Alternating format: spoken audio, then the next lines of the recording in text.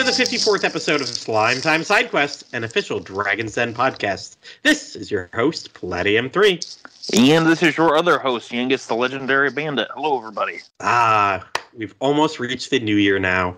I feel like I hear Auld Lang Syne like everywhere I go. Like the litter box. What now? Look, I know we never really discussed those bizarre songs you you record scratch into the open or you record scratch into the openings for our shows.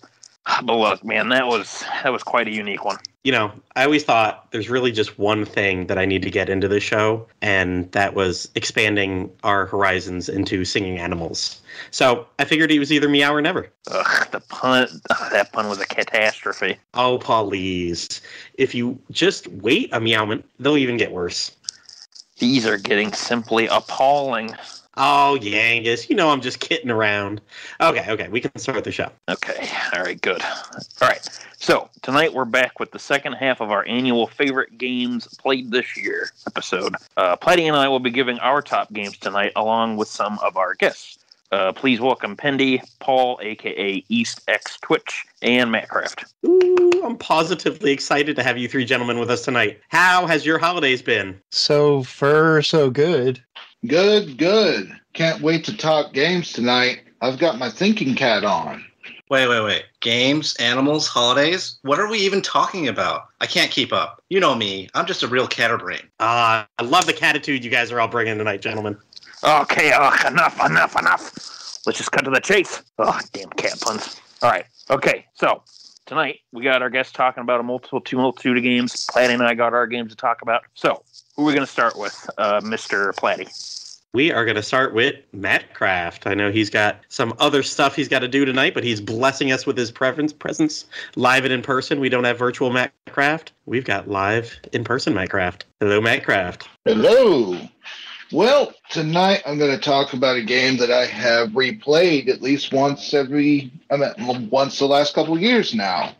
Infernax, which is a rather, and I do mean rather lovely 2D dark fantasy Metroidvania, developed by Berzerk Studio and published by the Arcade Crew. It is the best way that I can describe it is a combination in between a traditional Metroidvania mixed in with a little bit of Contra, a little bit of Wizards and Warriors from back in the day, all wrapped up into a lovely pixely shell.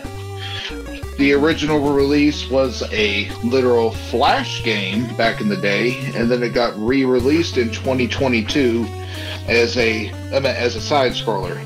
You control the young Duke Alcidor, going against a traditional Castlevania backdrop of demons, demons, demons, more demons, and, and, and more demons. The blood and gore in the game is quite prevalent, but you can easily look past it with the actual gameplay experience. Returning from the cru- Crusades to the land of Upel, you control our young hero as he goes throughout the game, beats the crap out of all the demons, and saves the day eventually. Or do you? One of the unique features of Infernax is a karma system, whereas in other modern games, you can be both good and evil. And it really actually impacts the game pretty hard. Being evil gets you different weapon types, different magic, whereas being good does the exact same thing. It has awesome cutscenes, really good gameplay, and just this year alone, it released a brand new update called Deuce or Die, D E U X. I can't pronounce it that well. It introduces couch co op and gives you a young squire named Serval who follows you around the entire game if you leave him on AI, doing various little extra attacks and magic that helps you out. One thing that I really, really liked about the game, and some people will say boo, is the cheat system. It literally has a built in old school NES style game genie where you find cheats throughout the game, just like in Banjo Kazooie and its sequels, and you pop it in there. It lets you do some things such as unlocking a chainsaw to a jetpack, a motorcycle, and some other stuff that they eventually just popped in accessibility options.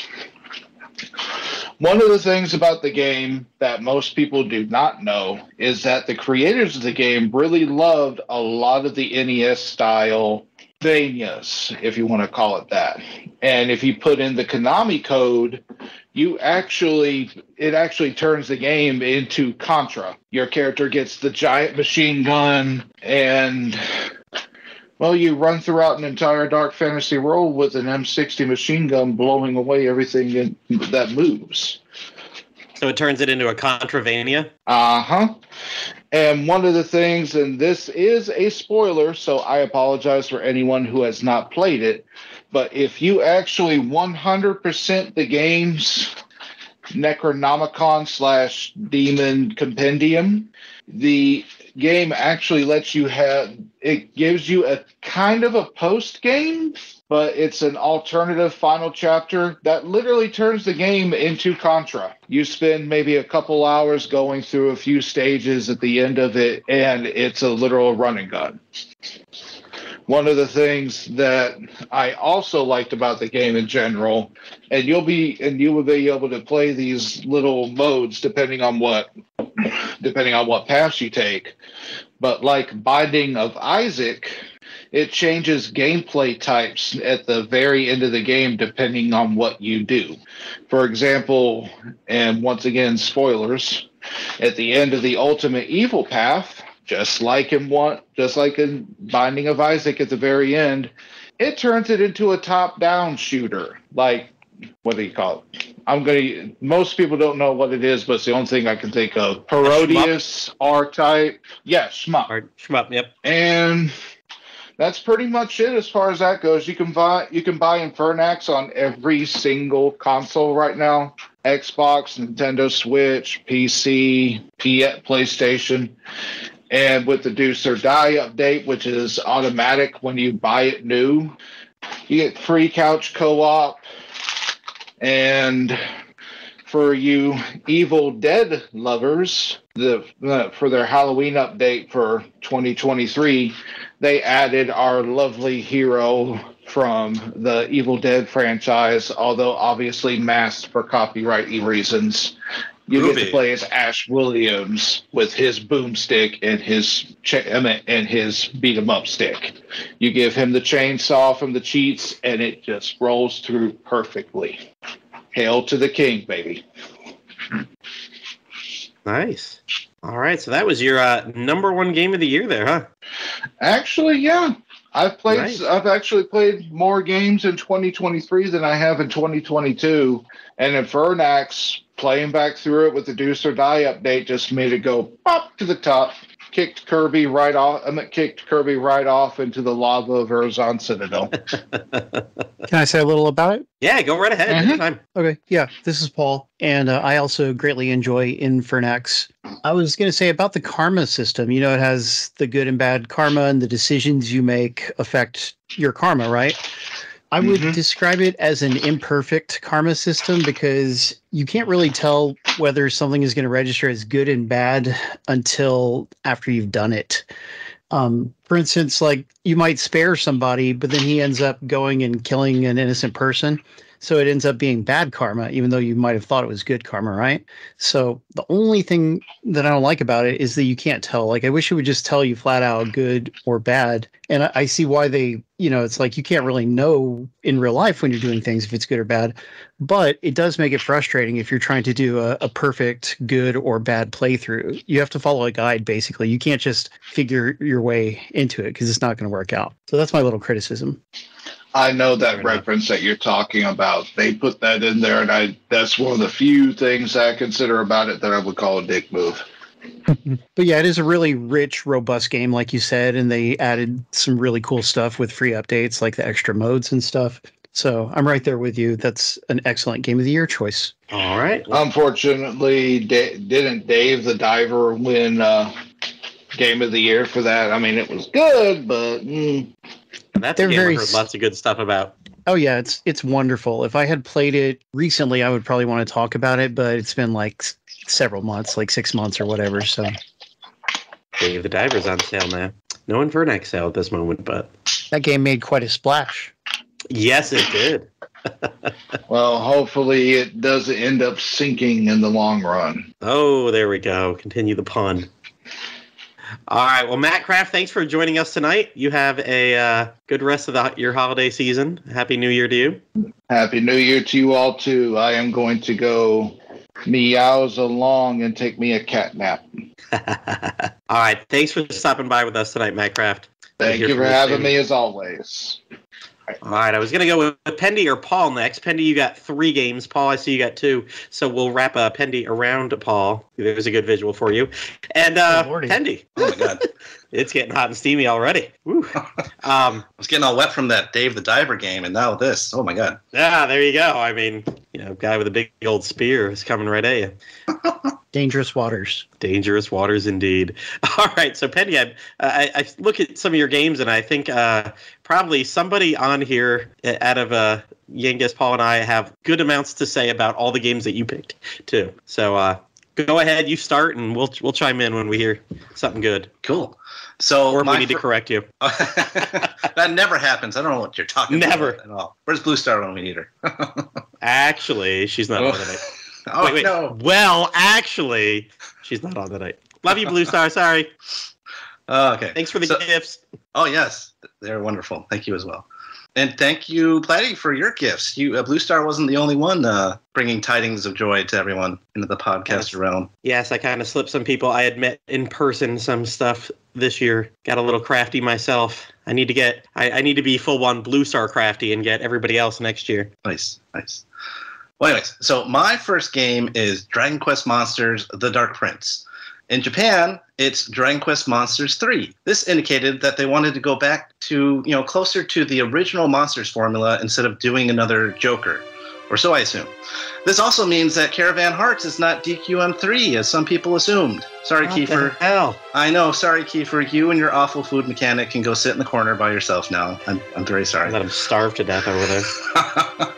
you know, for this game, I'm in the middle of the post game. I, I rolled credits, and it has been a fantastic experience.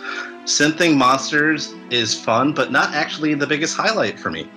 Um, I, I know it is for many other people, but just you know, monsters has never been my thing, and and it's been fun. But uh, all the all the all the other parts of the game is what's been great for me. So because I you know I beat the game of all B level monsters, I wasn't going crazy with synths. I didn't Mhm. even have anything that was A. Um, though I will have to step that up as I beat the first post game boss, but got absolute absolutely bodied against the second one. So I'll have to step that up when I go to it later. I, I paused my playthrough of the game to try and finish up Super Mario RPG, and I'm glad I did. Um, as you, I, as I know you know, uh, a recent patch that Square Enix put out the other day is going to make synthing the higher level monsters so much easier. More, more gold and rainbow eggs, and much more. Yes, yes. Yeah. That that that looks nice. It does. So if synthing monsters all day isn't my thing, what is it? Like I said before, just about everything else. The story, the characters, the level designs, all of it. I love the gameplay the, I love the gameplay loop I did of exploring a new area, fighting the big bad, going back to recruit the new monsters and find any areas I missed, and then synthesizing some monsters before moving on to a new area. The exploration the exploration is fantastic. There are four seasons for every area that you go to, and there's a lower, middle, and upper echelon for each area. Each season brings about different monsters in different areas that will be accessible depending on what's going on. Seasonal changes can bring about such uh, differences as water freezing over, vines you can climb, rocks that will burst apart, lily pads to jump on, conveyances that will let you float over to other areas and such. And I loved how each layer of an echelon had a connected story to it. A good example would be the three Brimstone Boys. So you meet a different one on each level, and what they are trying to do affects the others. What the Brimstone, what the Brimstone Boy accomplishes on the upper level would not work were not for the actions by his brothers on the lower and then the middle level. The overall story to me is really entertaining as well. Without going too much into it to avoid spoilers, it's basically an alternate Dragon Quest IV timeline from Pizarro's perspective. Uh, it's not strictly a prequel as some of us thought. You'll run into some iconic Dragon Quest IV moments and make your way through them, trying to lift the curse that prevents you from harming other monsters that was put upon you by your father. There were just so many fun callbacks to Dragon Quest IV that it really got me into the urge to do another playthrough of that game, which I plan to do soon. I also loved the homages to the series uh, just as for as an example like how you had to beat up four generals near the end of the game that were powering the barrier to the final castle just like you did at the end of four. And that story scene right before you enter the final castle chef's kiss. Loved it so much uh, the characters and their designs are great i loved toil and trouble and i loved rose they were fun characters that really added to the story and the experience of the game for me I had a great time with it. My only complaint was really just the performance issues. The game would chug here and there. There were stuttering, pauses, and I had a couple of crashes. And I, have seen on the Discord that we have for Dragon Quest Monsters that other people have had problems with that as well, whether it be docked or not docked, or whether it had a physical copy or digital copy. I just was surprised that it was not better optimized for the Switch like with treasures, maybe there will be a Steam port six months from now, and people will have a nicer, op- you know, a nicer option to play this game. I hope but so. you know, yeah. Overall, I'm just really glad that I gave it a shot since I really don't play that many of the monster. I haven't played many of the monster games in the past. By far and away, one of my absolute favorites for 2023. Nice. I, I heard somebody talking this week about games like this that are obviously developed. They're third party, but they're developed for Switch. They didn't. I mean, as far as we know, this Yeah. isn't being developed for anything else. You had one job: develop your game for Switch. Make the assets, make whatever work for Switch. The end. It's not the Switch's fault. These things chug. Like, Mm-mm. come on. Yeah, you're developing for a system that's been out seven years. You know what the parameters are. Yeah, you had big open Uh, worlds and treasures, and I don't remember any performance issues with treasures. Oh no no no yeah Treasures was like ran very smoothly and you'd have a lot of monsters running around there and everything. hmm Um, I, I'll I'll I'll be honest on my Switch Lite I haven't noticed a lot, but man I really noticed the pop in and pop out as I start walking. Suddenly there's a monster there it just pops up because like I feel like the draw distance isn't as good. Or, Um, or you see them in the distance and they're kind of stuttering and they're like, uh, uh, uh. Oh oh heck yeah yeah when they're in the distance they're they're moving at like three frames a second. yeah. I mean, it's like it's, they're too acting bad. back there doing like little flash dance. They're doing the robot, and then as you get closer, Yeah, it's just too bad too because the environments are just so amazing. At least I think they are. I love all the different Oh. environments, like the the Candy Land and the the the mechanical area and all the different ones that they did. Like it looks great. It just it just chugs a bit too much, and it's just it was disappointing that you ran into that. And I was hoping that the patch would solve these problems, but apparently the patch, in terms of technical um, things that they were going to do is apparent they were, supposedly going to fix the crashes, which I, I saw on Reddit that maybe that's not as good as they thought it was going to be, and fix some bug some bugs, but really not not general wasn't really- performance it was not. Yeah, that is nowhere in that patch notes. Mm-mm. i think official bad. patch notes came out today. Oh, on the English that was the first time no they, they're still japanese. They looked pretty official. I'm like oh that's still that must be machine translation because Oh, right at the okay. end of it one of them I, w- I was reading i'm like that kind of sounds weird and at the end of one it was like i did this or something like that i'm like no that's still machine translated Mm, gotcha. but uh no, I it- we talking about the visuals. Yeah, they look great. And you know what? It's not like, hey, this is your lava area, although they have that. Hey, here's your lava area. Hey, here's your desert. Hey, here's your ice place. Hey, here's your you know, you got some of those unique things too. Like the cities look pretty cool. Um, although it killed me. I think uh the first middle echelon one is a city and oh my god, the maziness of it was crazy. Oh, I think I know what Um, you're talking about. That was like the most difficult um, area in the game where you had to go through all these buildings. Is that what you're talking about? Yep. Yeah, yeah, yeah, yeah. That was And that was uh, that took me a while to get through because that was not uh, obvious of how to get to places there. and you know i think i was set up a little bit in, with the lower echelon stuff where basically you could warp to because most of the most of the areas you warp to the beginning there'll be a town or something somewhere in it and then there'll be like the uh, dungeon or whatever the last part of that area Yep. is and it's got like three warp points. Well in the city man i must have been going for two hours. I was like well out of magic points. Um, my team that actually my team right now still is way dependent on high level spells. So it didn't get far into the city and i'm like running out of mp quite a bit. And i just kept going. I'm like i was so overpowered. Unlike you i synth all the time And I was like, well, I'll keep going. I mean, this is kind of hard. I need to turn off my MP usage because I do need to heal after every about four or five battles. I'm I'm not completely immune here. And I played two hours until I got all the way to the end, and then I was like, oh, thank God, I'm here at the end. I see that little warp tile that I know somewhere in this final area I'll be able to warp back to this spot. Yep. And I go to zoom, and there's like two other locations along the way. And I was like, no, I could have. You could have, but the thing is, like sometimes you like walk to one of those checkpoints, and then be like, "Oh crap, I have no idea where I am" because it's so amazing. That that could have very easily happened to me too. So you know, whatever. But I, I mean, it was not just, hey, you're in a field. Hey, you're at the desert. Hey, you're in the. Um, yeah, the dungeons and the envir- outside environments were, were very well done. That's one of the the big highlights for me for that game. Yeah, and uh, I'll tell you what, I uh, I'll talk later about what game bumped this off of my top three. But no, this is definitely really good. Um, I went and did something I really shouldn't have done. Uh, about the middle of November, I was like, you know, probably get review codes for this, even after the debacle with the review codes for Infinity Strash that never came through for Switch. Um, and I was like, ah, I'm sure I'll get the review code for this pretty soon with RP Gamer. And um, I was like, I, I just want to get in the monster collecting mood. And I started playing uh, Terry's Wonderland again on the 3DS and restarted it because I'd played it on uh, Citra on the PC, but not on the thing. And sure enough, I sunk 60 hours into that in three weeks and didn't get the review code for this uh, until about three hours after I purchased it.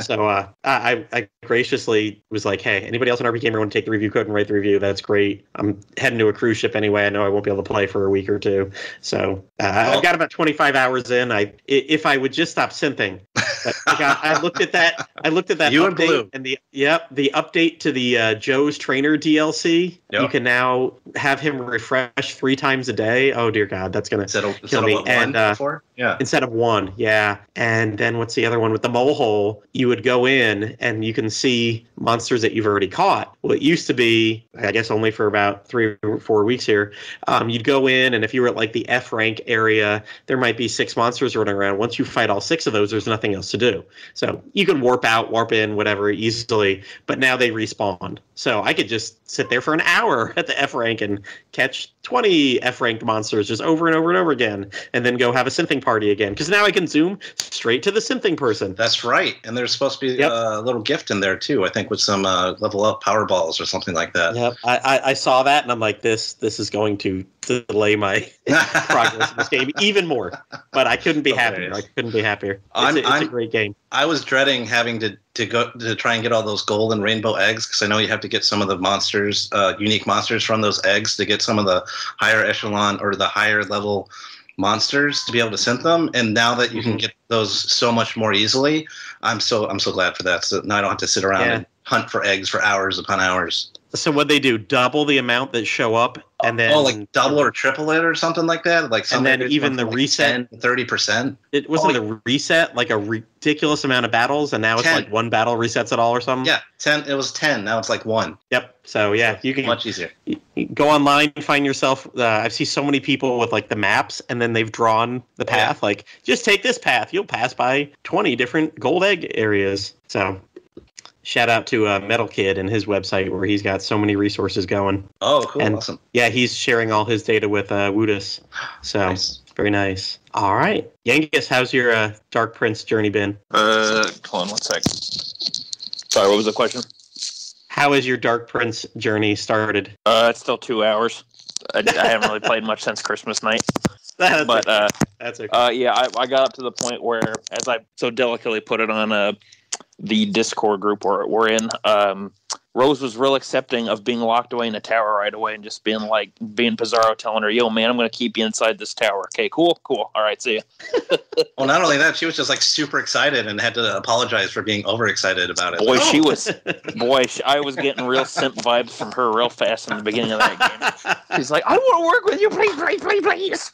Like, Whoa, calm down there, girl. I do, I do like that she recognized it though, and she's like, "Oh, I'm sorry, that was a little much." you know it's a little much the fact that elves don't have names oh, that was that was interesting because everyone just assumed that she was um, named after the town or the town was named after her, and it was neither. Yeah, it, just what a- weird little detail to throw in there. Yeah. Like, I don't have a name. Well, uh, how about Rose? Let's go with that. And honestly, an elf being like, "We don't use a name," or "We elves don't have it," that sounded like a pretentious thing an elf would say in a fantasy Ex- setting. so- exactly. it fits. We have no. So it's like, okay, well, I guess we got that culture. detail now. Okay. Like, all right, whatever. Yeah, it was. So it's been go. fine from what little I've played. Um, I guess I'll have to play more of it at some point, but you know, I'll get to it eventually. Been a little busy That's this week with work and stuff, so That's all right. That's all right. All right. Let's uh, pivot away from some Dragon Quest for a bit, um, and get down to Paul. Paul, what was one of your top games this year? Well, I guess I can first tell you about Earth Defense Force 2025. Have you guys ever heard of the series? The EDF. Yes, I've heard. I, I've never played it, but I hear it talked of lovingly quite often. Only because you've mentioned it before. Otherwise, no. Well, it's a kind of a cult series, you know, like it it's never been truly mainstream, but it has a lot of fans. And so Earth Defense Force 2025 is not the newest one. Like EDF 6 is coming to Steam and PlayStation in uh, early 2024 in English, but it's been out in Japan for a, a year. So that that's what we're up to as part six. Well, EDF 2025 is actually the fourth game in the series, although there's there's really more than four of them. But in Japan, it was called EDF 4. So Mhm. um, it was released on the Xbox 360 and PlayStation 3 back in the day. The 360 version is actually better, which is nice. But anyway, it was recently on sale for eight bucks on on the Xbox store, and it's backwards compatible. So I've been playing it on the Xbox One. I'm sorry, Xbox Series X, not Xbox One.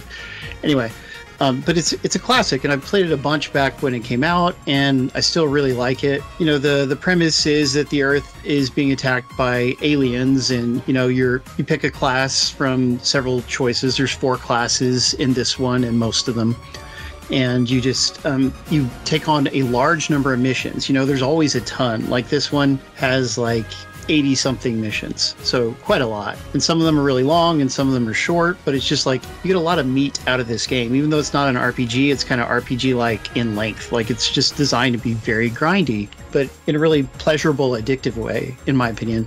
Because not only do you have all these 80 something levels but each one you're encouraged to beat it on all five difficulties that they offer and um, because you know it contributes to your completion rate. And when you're playing online if you have a, a total online completion rate of 70% or higher then you can turn off weapon and armor limits. Because normally there's these limits that keep you from using overpowered equipment on in online levels. If you're playing single player there's no such limits. But in online they want they want it to be challenging for everybody but if you actually play a whole lot to get your completion rate up high enough, then you can turn off those limits and everybody can join you and play with like their best equipment on easier levels, you know? And they can have the the greatest amount of health because that's what the armor limit thing is. It's a restriction how much health you can have. So anyway, you're just encouraged to work towards that very long term goal. And um, I don't know, it's fun. You know, like I have those limits turned off, but I still have a lot more. You know, like I could play it every day for the rest of the year of, of 2024 and maybe not even complete every single difficulty with every single character, but it's so fun and it's four player co op. So working together and, you know, using different classes or even the same class, you know, like there's a lot of advantages to the different classes and um, weapon drops, you know, like enemies can drop health armor upgrades or they can drop weapons. You don't see what you got until you beat the level. So it's sort of like a gotcha because when you beat the level, it's like, oh, I got eight weapons that I already have, but I got two new weapons, you know? And it's really fun chasing after those weapons that you don't have. So there's a whole lot to like about this game, and it runs really well on the Xbox, you know, the newer Xbox consoles, being that it's an older game and it's backwards compatible. But the loading times are still. They're not taking full advantage of the SSD of the Series S and X. You know, like I guess it's somewhat hard coded how long the loading is going to be so it doesn't load instantly like it should. Like if you play EDF five or six on PS5, you're going to get way faster loading. But that's that's just a little thing. But you know, like cooperative games are my favorite style of game. You know, different genres, but I love the cooperative aspect. The series has a great cooperative aspect and lots and lots of replay value. But also, it's got a nice B movie vibe to it. You know, like uh, the aliens, a lot of them are kind of wacky, giant insects and giant robots and things like that and they, um, you know, the the writing. There's a lot of narration while you play. There's not very many cinematics where you're not when you're not playing, but there's lots of just narration that tells you how things are going in the world and the different soldiers that are on your team. You know, they'll make funny comments. So it, it just has this really unique, special charm to it, and there's nothing else quite like it. So that's EDF 2025, baby. Have you played many other games muted. in the series? Oh, whoops. No, you're good. Okay. I was muted. I actually meant to. Say, I, I tried to get my question in there and then realized, nope, I'm still muted. Have you ever played many of the other ones? Yeah, basically, I started with 2017, which is the third game in the series that was released mm-hmm. on 360. So from that point on, I've played them all. You know, like I, I got the ones they released on the Vita, I get the ones they put on Steam and PlayStation. Unfortunately, 2025 is the last mainline game in the series released on Xbox. You know, like Xbox is my favorite, although I have all the platforms. So, mm-hmm. And some people, you know, like some of my co op friends, they will not buy a PlayStation, you know, so they don't get to play the newer EDFs with me, and that's a shame. So, um, you know, back in the day, Microsoft was paying Japanese developers to release their games on the 360, Mhm. and that stopped at a certain point. And maybe they're doing it a little more now. You know, like I think they make deals with Square Enix to release some of their games on on Xbox. But I just wish Microsoft would continue to get those games released because it's better to have games available on the widest number of platforms. You know. Yes, it does. I've I, a- as a game, not that I've done this, but if I was a game developer, wouldn't I want it to have it out there everywhere? Like sell more copies, have people double, triple dip. That is whatever. true. It's a little harder for Jap- definitely.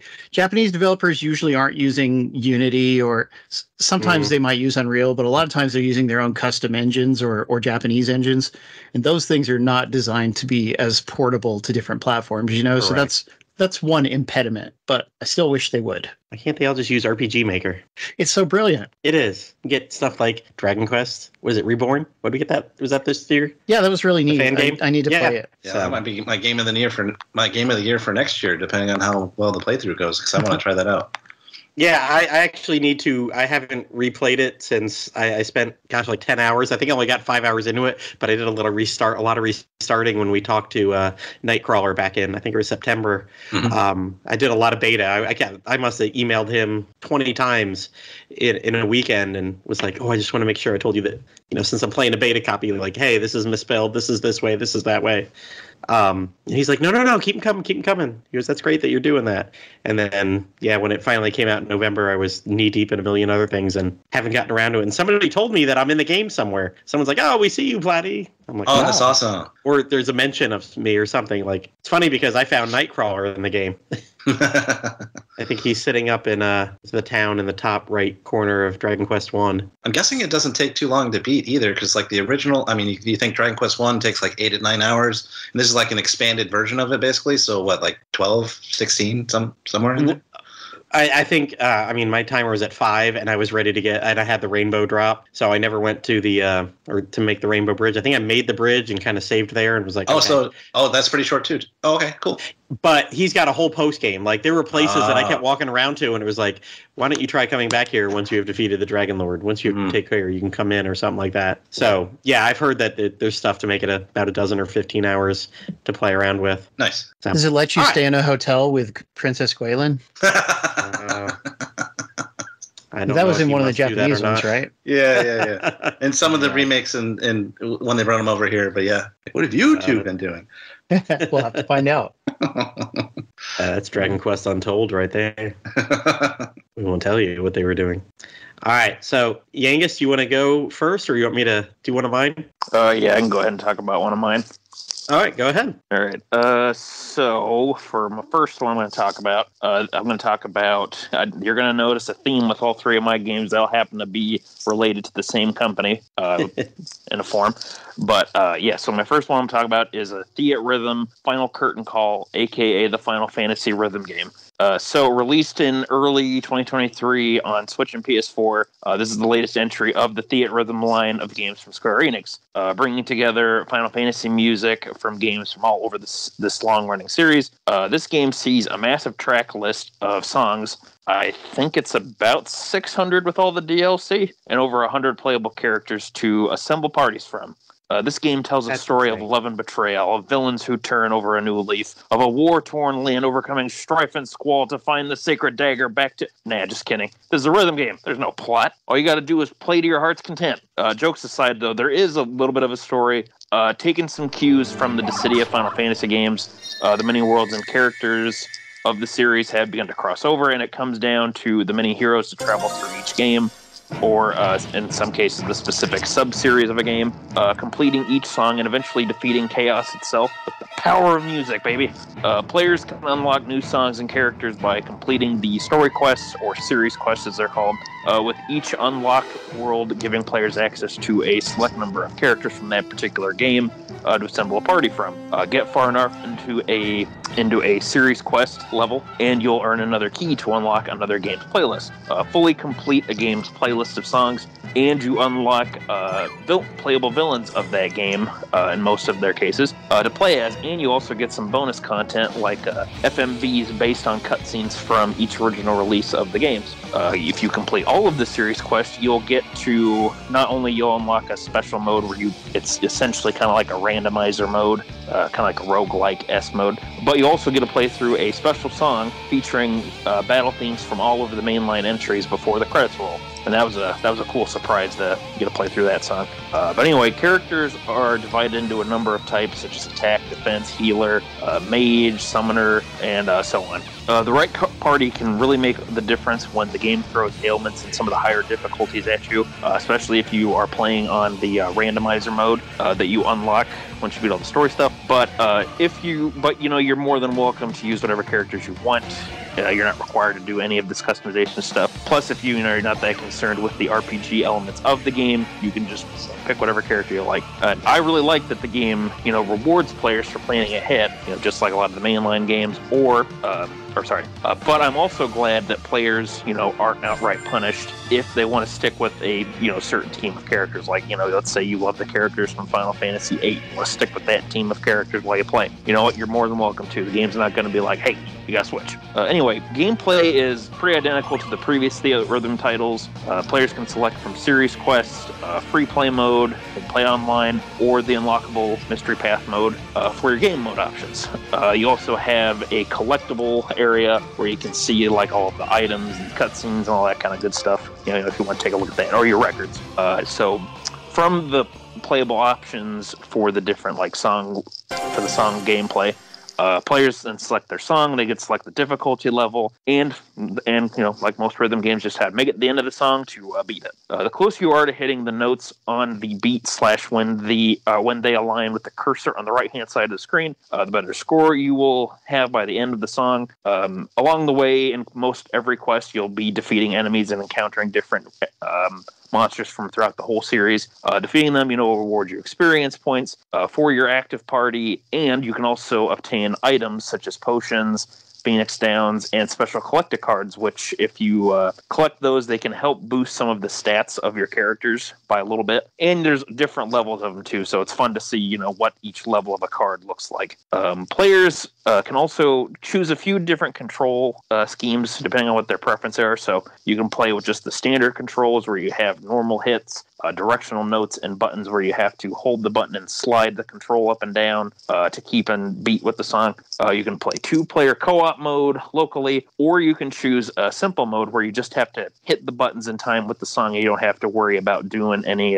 You don't have to worry about the slide notes or directional stuff. Uh, you can also play online with up to three other players, uh, be they friends or strangers, and you can even play with some special effects turned on to try and throw off your opponents. And or you can play just good old cl- or keep a classic, see who can do the best they can in a difficulty setting. And there you go. Um, so personally, I got a lot of time out of this entry, a lot more than I expected to this year. Uh, I got getting about uh, 120 hours or so throughout the year as I would play. Uh, it's been a great game to pop in and play for a while, um, especially since I've enjoyed previous entries from the Theatrhythm uh, series from Square Enix. And uh, with all of the playable modes and customization options, uh, there's plenty of ways to play, which I really enjoy. Uh, all the DLC also helped in some new and and some returning songs from past Theatrhythm games. Uh, and we also got songs for some other Square Enix properties like uh, Saga. We got some stuff from Xenogears, the Mana series, and uh, as a surprise, uh, the last batch of DLC was I think about eleven or twelve songs from Final Fantasy 16, and that was pretty that was pretty cool actually because there's some really great songs from that game. Uh, I found that this has been fun game to just go back to and revisit, and putting together or trying to put together different teams of characters, uh, you know, find some good synergy with abilities, trying out different combos, um, and trying to see if I can get, uh, you know, perfect or as the game calls it, like critical charts across all of them. Uh, just trying, you know, and just replaying songs that I like a lot. Oh, and also um, trying to attempt to fully complete all of the missions from each series quest and boy, there's some that are a real doozy. Like the one from the end of Final Fantasy One, where you got to beat uh, Chaos that shows up as a boss. I looked into it because I'm like, okay, there's got to be some sort of trick to this guy. Yeah, his stats are just absolutely boosted. So you need to have like your characters be crazy high level just to have a chance of possibly beating him. it's crazy, but it's fun though. I like trying to beat all these different little quests that they have and. Uh, unlocking stuff from each game because if you complete all the quests, you unlock a bunch of artwork and other little details and things like that. So uh, admittedly, though, I wasn't really sure how this series was going to work on a home console release, but you know, honestly, this is a game that's like the perfect fit on the Nintendo Switch, whether I've played it in handheld or on TV. Uh, I would definitely recommend this game if you uh, enjoy rhythm games. You know, you're a fan of Final Fantasy. You love the music from Nobuo Uematsu and all the other composers who have worked on the series over the years. Or if you're just looking for something with lots of team customization to uh, conquer challenges. So yeah, um, I, I've heard the PS4 version's pretty good too, but I would personally recommend the Switch one so you can play it on the go. Really, it's it runs very well on Switch, and honestly, it's a perfect fit on the console. So yeah, that would be my first game to talk about tonight. There we go. I need to get that. It's pretty fun. Yeah, I've played the first one, uh, the first Final Fantasy Theatrhythm. I don't think there was any story whatsoever in that one, but it didn't matter. It was just a really fun game. And I have the Dragon Quest one. Me too. Which it doesn't matter, you know, if I know any Japanese or not, because again, there's no story and you're just kind of middling your way through it. But I just don't have a DS that can play it yet. So one of these days, I'll, I'll Ah. play that one. Yeah, usually just the the story for these is just oh, uh, some weird force is causing all these worlds to collide. Use the power Mm. of music to put everything back together. That's Gotcha. that's pretty much the plot.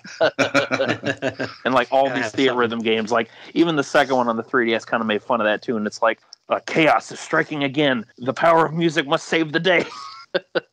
but yeah, it, it's a good time. I I would recommend uh, picking this game up if you haven't already. Yeah, because I, I was I never got into rhythm games, but the, playing the first one, you know, if you love the music, then it's just a good time. It's it's nothing, and like you said, like some of these games have simple modes and whatnot, so it's it's always it's always fun to to play through the music and have all the different characters that you can have uh, fighting along your way as you're pu- pressing all the buttons and rhythm, and yeah, I had a good time with it. oh, much more accessible than uh, Senran Kagura Bon Appetit, definitely.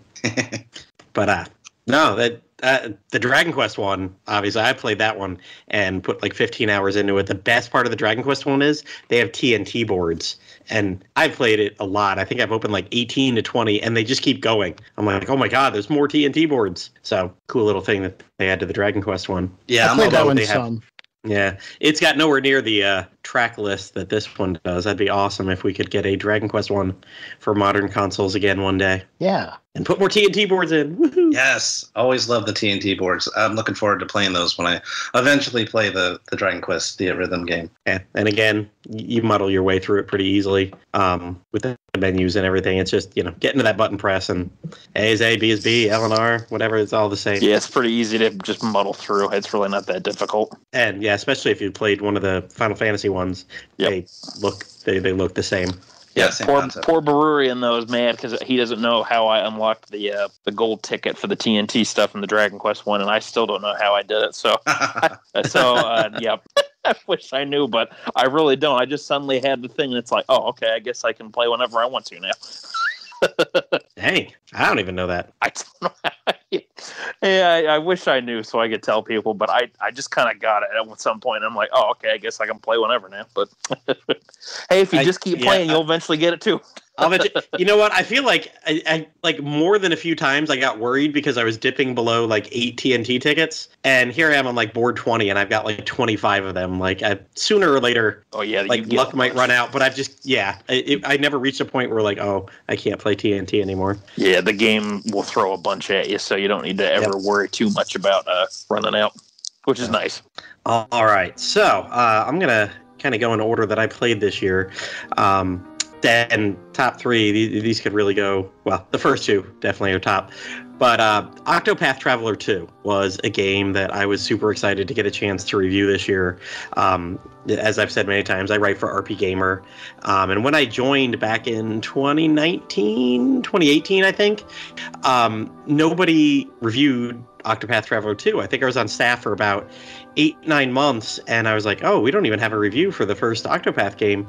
Um, and there were a couple people that like, yeah, I was going to review it. Yeah, I played it a lot. But there were so many people that were so divided by it, by the, especially the whole storytelling aspect of it. The first game was very segmented. You know, you had your eight people, each of them had their own story. And unless you went deep into post game finding all the stuff and following along with all this that wasn't obvious, there was really no connection between them. Um, and I was okay with that. I was like, cool, I just got eight awesome little stories here. Um, they had eight hours each. I got 32 little mini stories. They were, it was a perfect game to like pick up. I'm going to play for two hours tonight. I'm going to do a chapter and be done. And I loved it. I gave it a 4.5. I thought it was wonderful.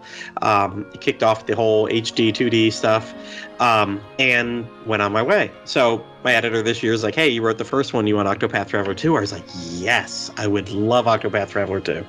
So got it, and I couldn't quite beat it by the uh, day that the uh, you could post reviews. The embargo was over because there was a couple little obscure things right at the end I needed help from. I had joined a uh, Discord about Octopath Traveler 2, and I finally beat it like two days after release because you know some people on that server had gotten it a day early or stayed up for like 48 hours straight and were already like finishing the game, and I was like, oh my god, like this has taken me two weeks to get to this point. You're there in two days and teaching me how to do things.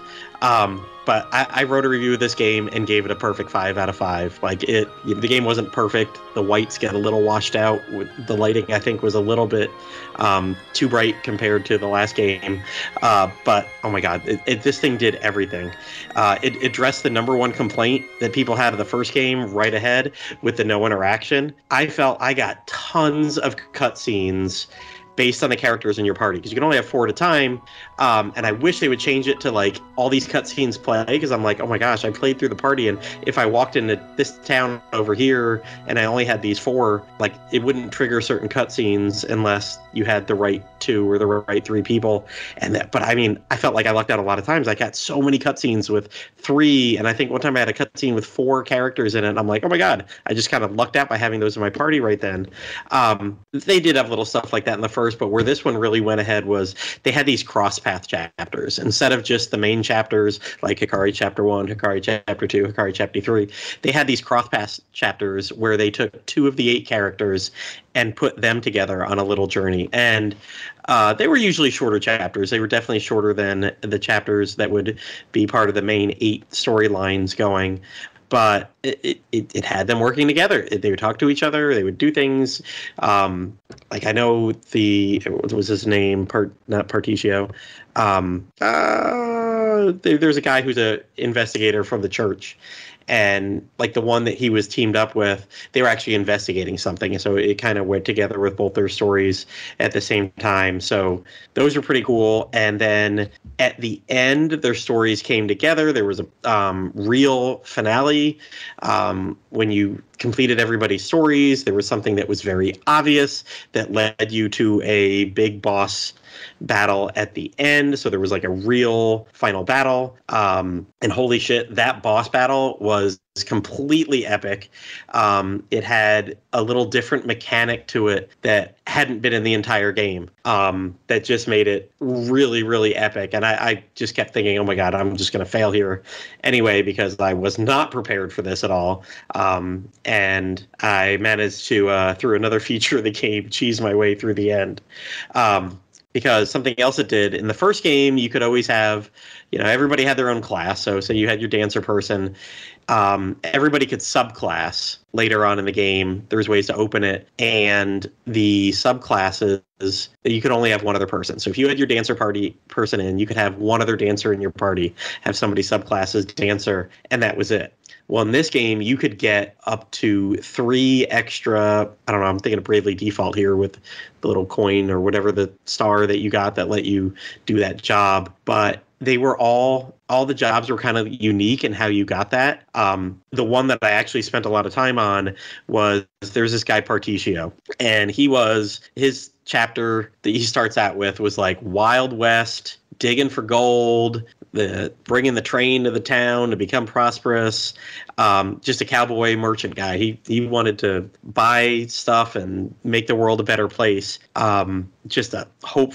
I don't know, like what it was a, a hopeless romantic kind of. But he he just thought that technology and through money and doing all this, he could just make the world an interconnected place with a and if it was all interconnected it'd be way better and just everybody would be happier and better off in life. And so that's his path through the game. Um, but he was a merchant, and one of the merchant skills you can do is in battle you can spend money like eh, call an army this turn for like twenty thousand dollars, and like eight guys come and beat up the who you're fighting and do like epic damage. But there's different levels to that, and I had so much money at the end. I had a couple people subclassed in that, more than one subclassed in that, and I was able to pay to win basically with in-game money. Um, definitely, everybody else helped along the way too, but. Uh, I did start off like the first game. The first game, the thief, I thought was way overpowered, and I'd read some guides beforehand, like where I could go and where I could steal good stuff early in the game. So I did with this one, having it, you know, a couple weeks before release. I knew nothing, but I'm like, yeah, I'm gonna take the thief again. Uh, her name was Throne, and holy shit, like her story was just batshit crazy. It starts off, she's an assassin or whatever, and um, she's got these people called mother and father. They're not really her mother and father. They're the head of whatever assassin guild she's part of. And you know, at the beginning, like you're off to do assassin work, and then you don't really like it, and you don't want to be a killer, and whatever, and you, you want to break out of this kind of stuff. And right away, I noticed, hey, the chapter situation here is not the same as the original game. The original game, eight people, four chapters each, 32 chapters, boom, set. Um, in this game, some people had five chapters, some people had three chapters. Uh, sometimes they would branch. Throné had like a chapter, can't remember if it was two or three, but it was like 2A and 2B because you could go talk to mother or you could go talk to father. And the level requirements or not requirements but the recommended level for those were pretty equal. It was like hey you can go do chapter 2a or 2b right now. Um, they're both good if you're about at level 10 um, which is something else that was different in this game. Uh, the first game i felt the level requirements there was a big jump like obviously all the chapter ones were like you could do it from the beginning level one but then like all the level twos were like recommended level 15 and like holy crap like i'm not level 15 yet. I've done all these first chapters and i'm not let that there. Um, there was a lot of chapters in this one. It was like hey this is good if you're level six or this one's good if you're level 10 or level 12 or 14 so um, while I didn't follow that and it wasn't an ideal path for the way I wanted to play, you could. Um, I was grinding. I was finding out that you know I've played a lot of games with battle systems similar to this, and I, I could find out the cheesy ways to do stuff, and like the merchant trick or whatever near the end. Um, like any job system game, there's so many ways that you can find to do awesome damage or whatever. Um, I think someone who kind of broke the game for me a bit was uh, Ochette. Um, she grew up on an island, and her island was all about catching and using monsters in battle and she was way better than gosh the broken english girl that was in the first game that was all about that. Um oh ochette was just awesome. Like I, I can't i think it might have been around her end of chapter two maybe beginning of chapter three that i caught a bunch of level eight um monsters like they had little ranks eight through ten. And so many of them had um, awesome AoE spells like this will hit everybody with lightning damage twice. And uh, part of the battle system in the Octopath Travelers is you want to be able to break enemies. Enemies have a shield up, you can do some damage, but really you can do massive damage and cause them to miss one or two turns depending on when you hit them. Um, if you can break them, they'll have a little number of them that, like, hey, this guy's got a shield of level three and it shows that they're weak to three things. You don't know what three things those are until you actually do it. So it's a lot of trial and error when you're meeting new enemies. But once you hit them with something that um, breaks their barrier bit, it's permanently above them for the rest of the game. You'll always see that.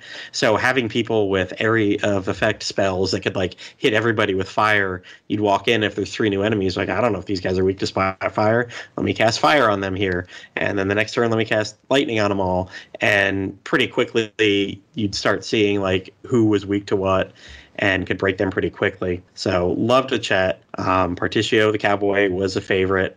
Um, a story by the time you got to the end of it, off the wall, thousands of year old, what the fuck kind of stuff was going on there.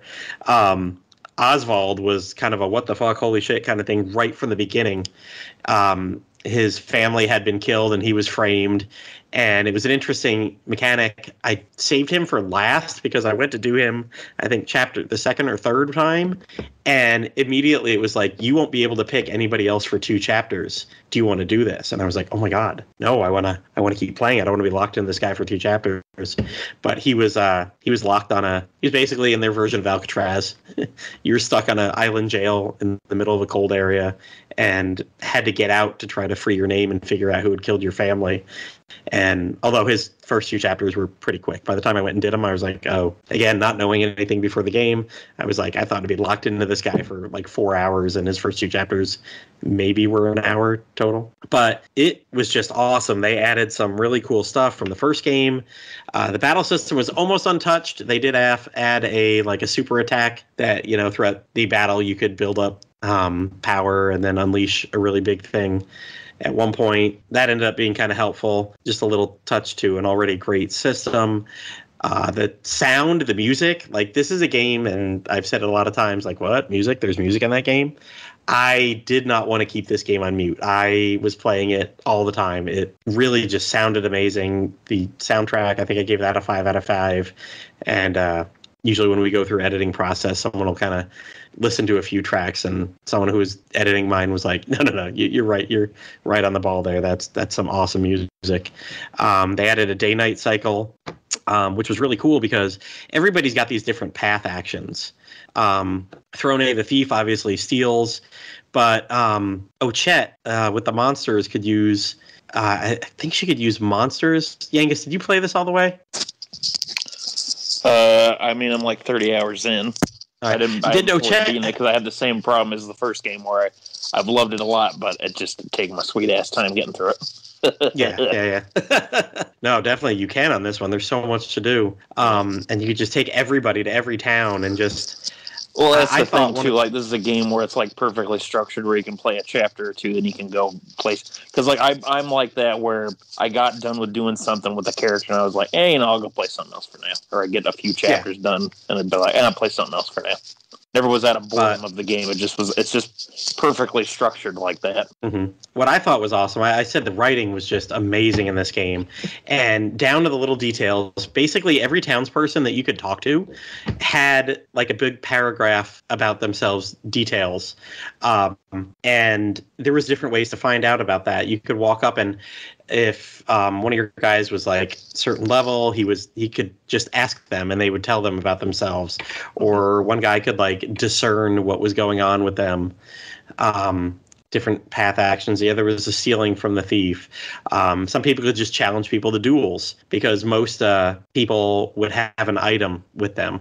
Mm-hmm. So you know, some people could Throné could steal that item. Somebody else could challenge them to a duel, and if you won that duel, you'd get it. Um, much like how Ochette could take a person or take a monster, catch a monster during the game, and then keep unleashing it, kind of like a spell.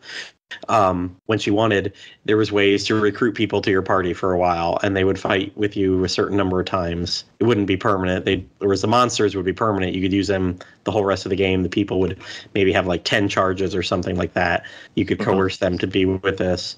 Um, but everybody had these path actions, and everybody actually had two because at night their path actions were different during the day and it was awesome to switch between day and night. Like it doubled the soundtrack. Every city had a day theme and a night theme, and mm-hmm. uh, gosh, like and like I said, the the details of the characters were like I I was just amazed, and I think I screenshotted one here that, that I've seen other people talk about too.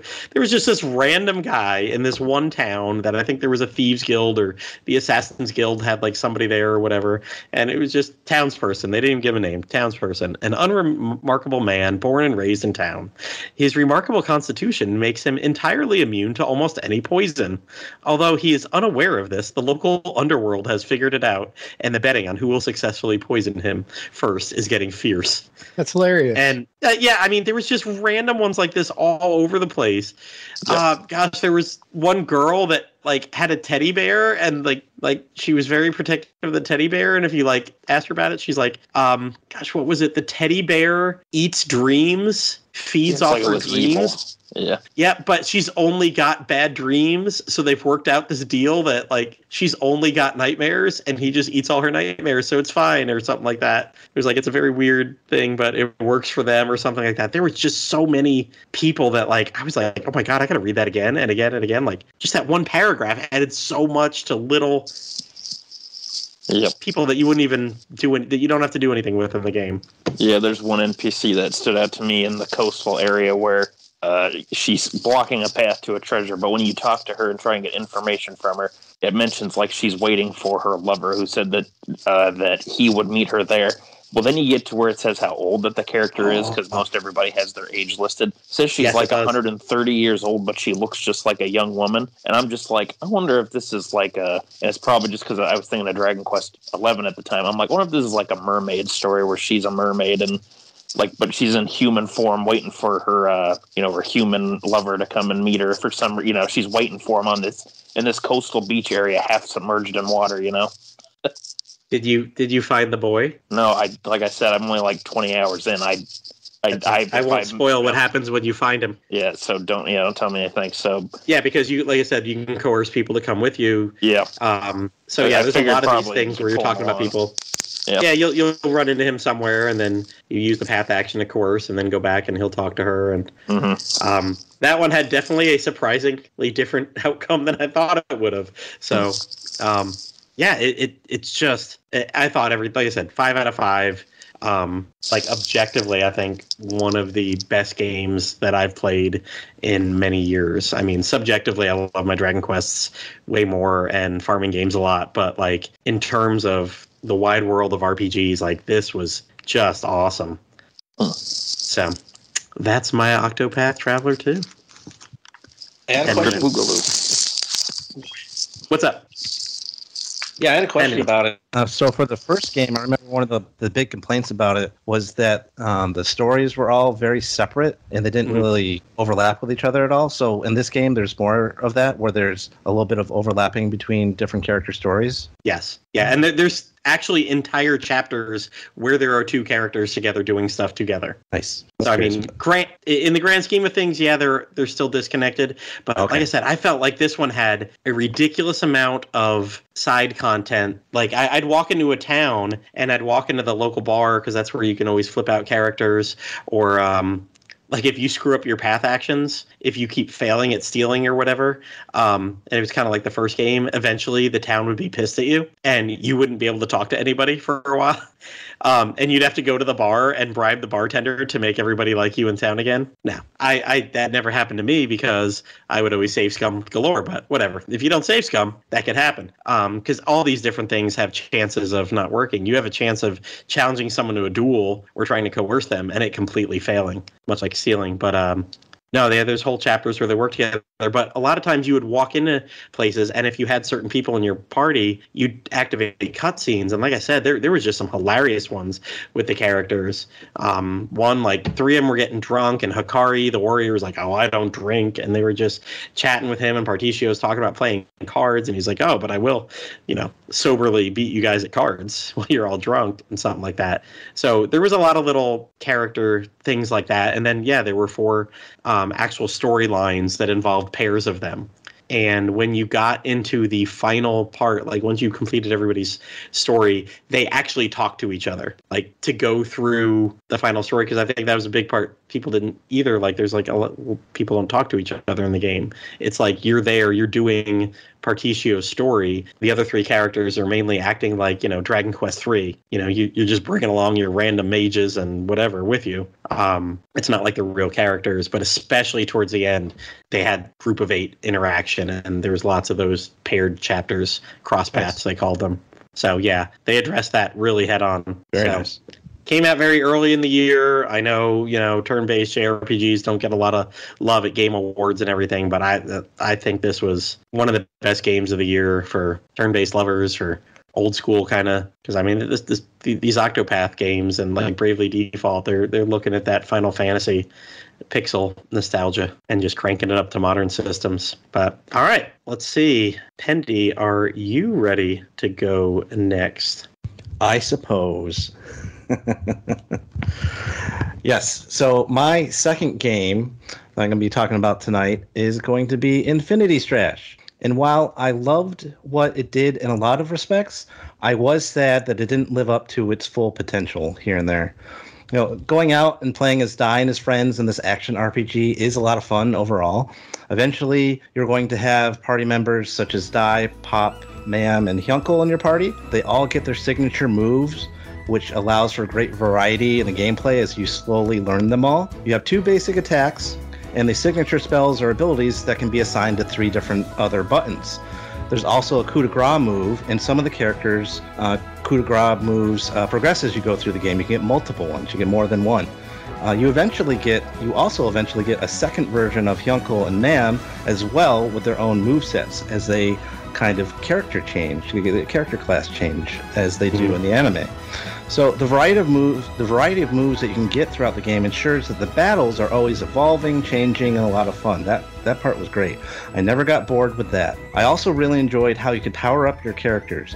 There was the traditional leveling leveling that you'd expect from just beating up the bad guys, but you could also find these bond memory cards. They would initially showcase a scene from the manga, which was really cool, but they also served as a way to power up your characters they could affect certain stats or even specific abilities depending on what the card was. And they could be leveled up separately in the Temple of Recollect the Temple of Recollection, which was a randomly generated dungeon mode. In those dungeons, you could run into monsters, various monsters and bosses. Uh, there was even a, a special boss not seen in the main story mode that you go up against eventually. And as you kept going lower, as you kept going deeper, deeper into the dungeon, the challenges the dungeon floors would off they, that they would offer would be very interesting sometimes. You might run into multiple bosses on the same floor, which could be scary, or there was environmental hazards such as flames bursting from the floor, or waves of flazzard rocks trying to take you down. Which, if you know the anime, you know what I'm talking about, or, or even fighting Flazzard earlier in the game when he does that to you you know, I really loved how the main story missions would get inventive sometimes too. For example, when you're sneaking around Hyunckel's do- sneaking around Hyunckel's dungeon, stealth was the key, or he got mobbed by monsters that a guard would signal for.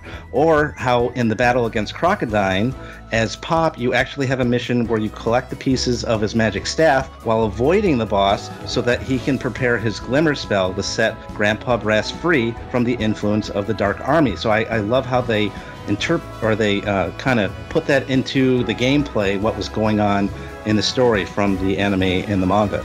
So, what can be disappointing about this game is the lack of battles. So many missed opportunities. It just hammers you with all of these story scenes. When there were story scenes made with the in game graphics, it was fantastic. Those were great, but those were far and few between. Most of the story scenes were stylized still images with dialogue over them, which wouldn't be so horrible by itself, but there was just so much of them so many of them that without any without any battles to break them up sometimes. At one point in the game you go through four or five of these story missions in a row. No battles just four or five separate missions of just straight up story scenes. It was a little ridiculous. Thankfully thankfully you can skip them even if it's your first time seeing them it was just kind of poor design overall. I mean Where's the fight with the evil scorpion in the beginning of the, the story, or the killing machine on Dermline Island? Why isn't Crocodine a playable character? Just, you know, a few missed opportunities there. Overall, I loved the action in this game. There just wasn't enough of it. Yeah, that sounds like everything else I've heard about that. Mhm. I see we have a first price drop in the United States Oh, did we? about now. Yeah, it, it's down to 40 on the eShop, so hopefully some fans that uh, heard all the negative reviews or middling reviews, I guess. I mean, they weren't all just horrible, but um, I heard a lot. Of, you know, what was the uh, the tower that you could run endlessly? I know that Oh, was. The Temple of Recollection. That part was Yeah, yeah. sure. Yeah, I- I've heard that from many people, and that was the uh, what was it? That was what they were doing at demo. I think at PAX West. Um, one of my friends was there trying uh, trying it, and he wrote like a really glowing review. But that's what they let the people play. That was all that was there. Yeah, they didn't get the endless story scenes. no, they they did no story mode. He's like, yeah. He goes, I don't know any story about this, but my God, that was fun. He goes, I played it for like 30 minutes and got to ask a bunch of questions. And you know, you and I talked to the producer, obviously, and he was very positive about stuff. But what what did you say recently on your uh, Tactfully Die podcast? This has sold less than 100,000 copies. Oh, more Japan? like thirty-five thousand or something like that. It's in. I think even for because I know it's a very niche kind of game, so they're. I, I'm sure they weren't going for that much because Yeah, those yeah. kind of anime uh, games don't tr- you know don't sell a whole unless it's like Dragon Ball Z or something. They don't sell like a whole lot because I saw some Mhm. other games that were coming out around the same time, but even those games were make were making like I don't know fifty to hundred thousand a pop depending on what they were. But I'm sure I can't I. 35,000 can't be their goal. It must have been, it had to have been more than that. So I don't think it did very well for even with a, a smaller goal of what they probably had.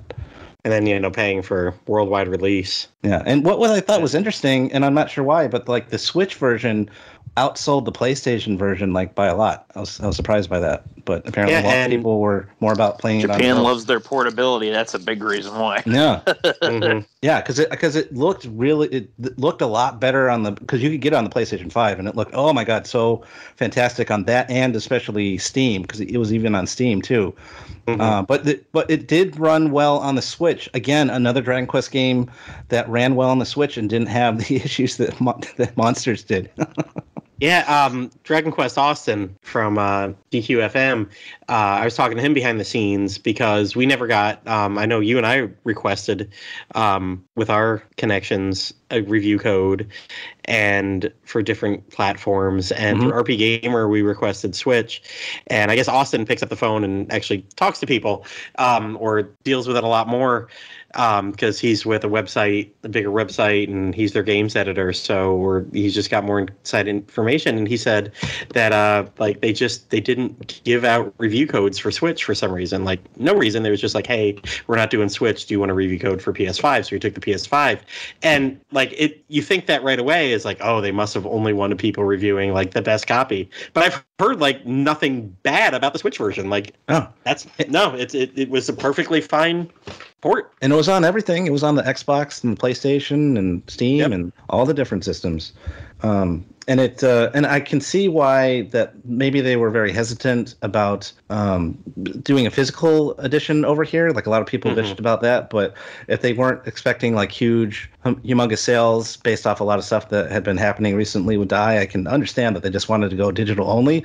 But now I really really understand it, since it, it even in Japan it would just not did not do very well.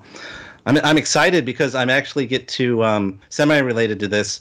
One of the uh, voice actors that does Hadlar and Flazzard and a couple of other minor characters, he's now going to be showing up at an anime con that I'm going to next week on my birthday. So I'll be able to get to meet him and my copy of Infinity Strash that I ordered from Southeast Asia, which is in English.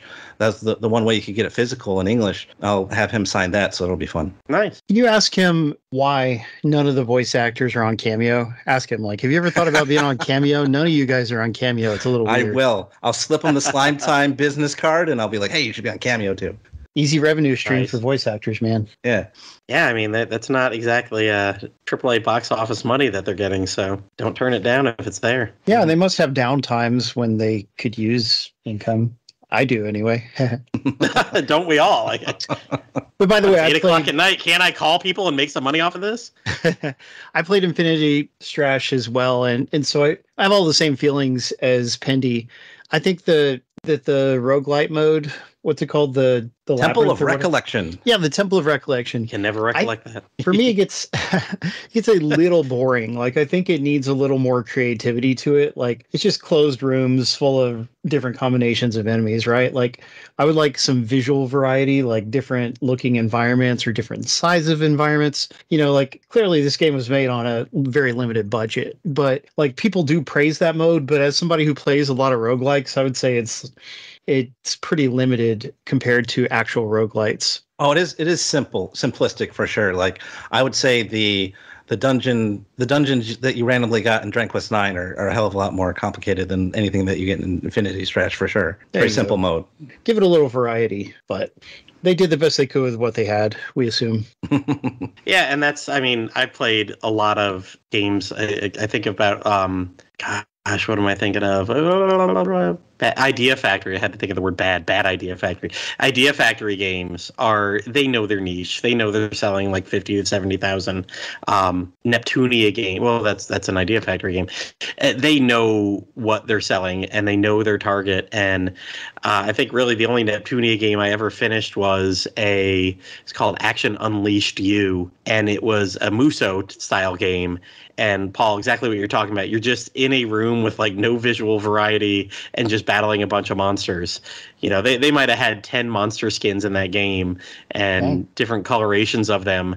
But when like you went to do the missions, there was no background. It was just like you're fighting them on a big piece of octagonal purple with nothing in the background. And Oh man, yeah, sure, there's 200 of them on the screen, but 80 of them all look like one, and 60 of them look like another, and 40 look like another, and Aw. there's no background, and there's no rocks, there's no terrain or anything. It, Oh Jesus! You know, yeah, because even the you know, they know what they're going to sell, and there's shitloads of them. You look at Idea Factory; they pump out like three, four games a year, so they must know how to budget for to make that profit. So it, it from what it seems like, because I haven't played it, but from what it seems like is it looks like it was more ambitious, and then it didn't have that budget to do it. Like with all those just cutscene missions that should have been fights, like you said, yeah, Pendy. I, I can definitely see that. Where Mhm. and it's so weird because they've had so much production time on it. Now, granted, it was delayed production time, but still, Mhm. uh, it's just there's so many missed opportunities for so many different fights that they could have done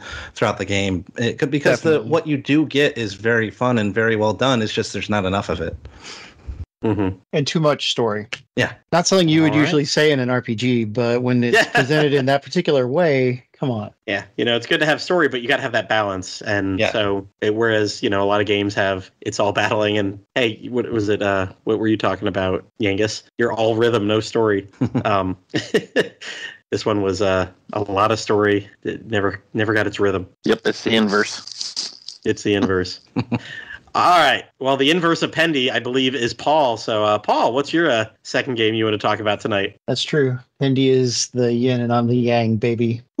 But I'm here to talk about an actual release that came out this year. That is Double Dragon Gaiden, Rise of the Dragons. So, the Double Dragon series, for people who don't know, is a highly influential and long running beat 'em up series. The Mhm. first Double Dragon was released in arcades in 1987. It was developed by a Japanese company called Technos that sadly is no longer with us today. In US, it was published in arcades by Taito. So sometimes people think it's a, a Taito game, but it's not. It was from Technos. And anyway, it that was the game that pioneered co-op and beat 'em ups. You know, two players cooperating cooperating together in arcades and in the Sega Master System port, many other versions. So the series, you know, when Technos went out of business, eventually the license ended up with Arc System Works. They released a game called Double Dragon 4 that was a modern NES style game, you know, from a skeleton crew of four developers.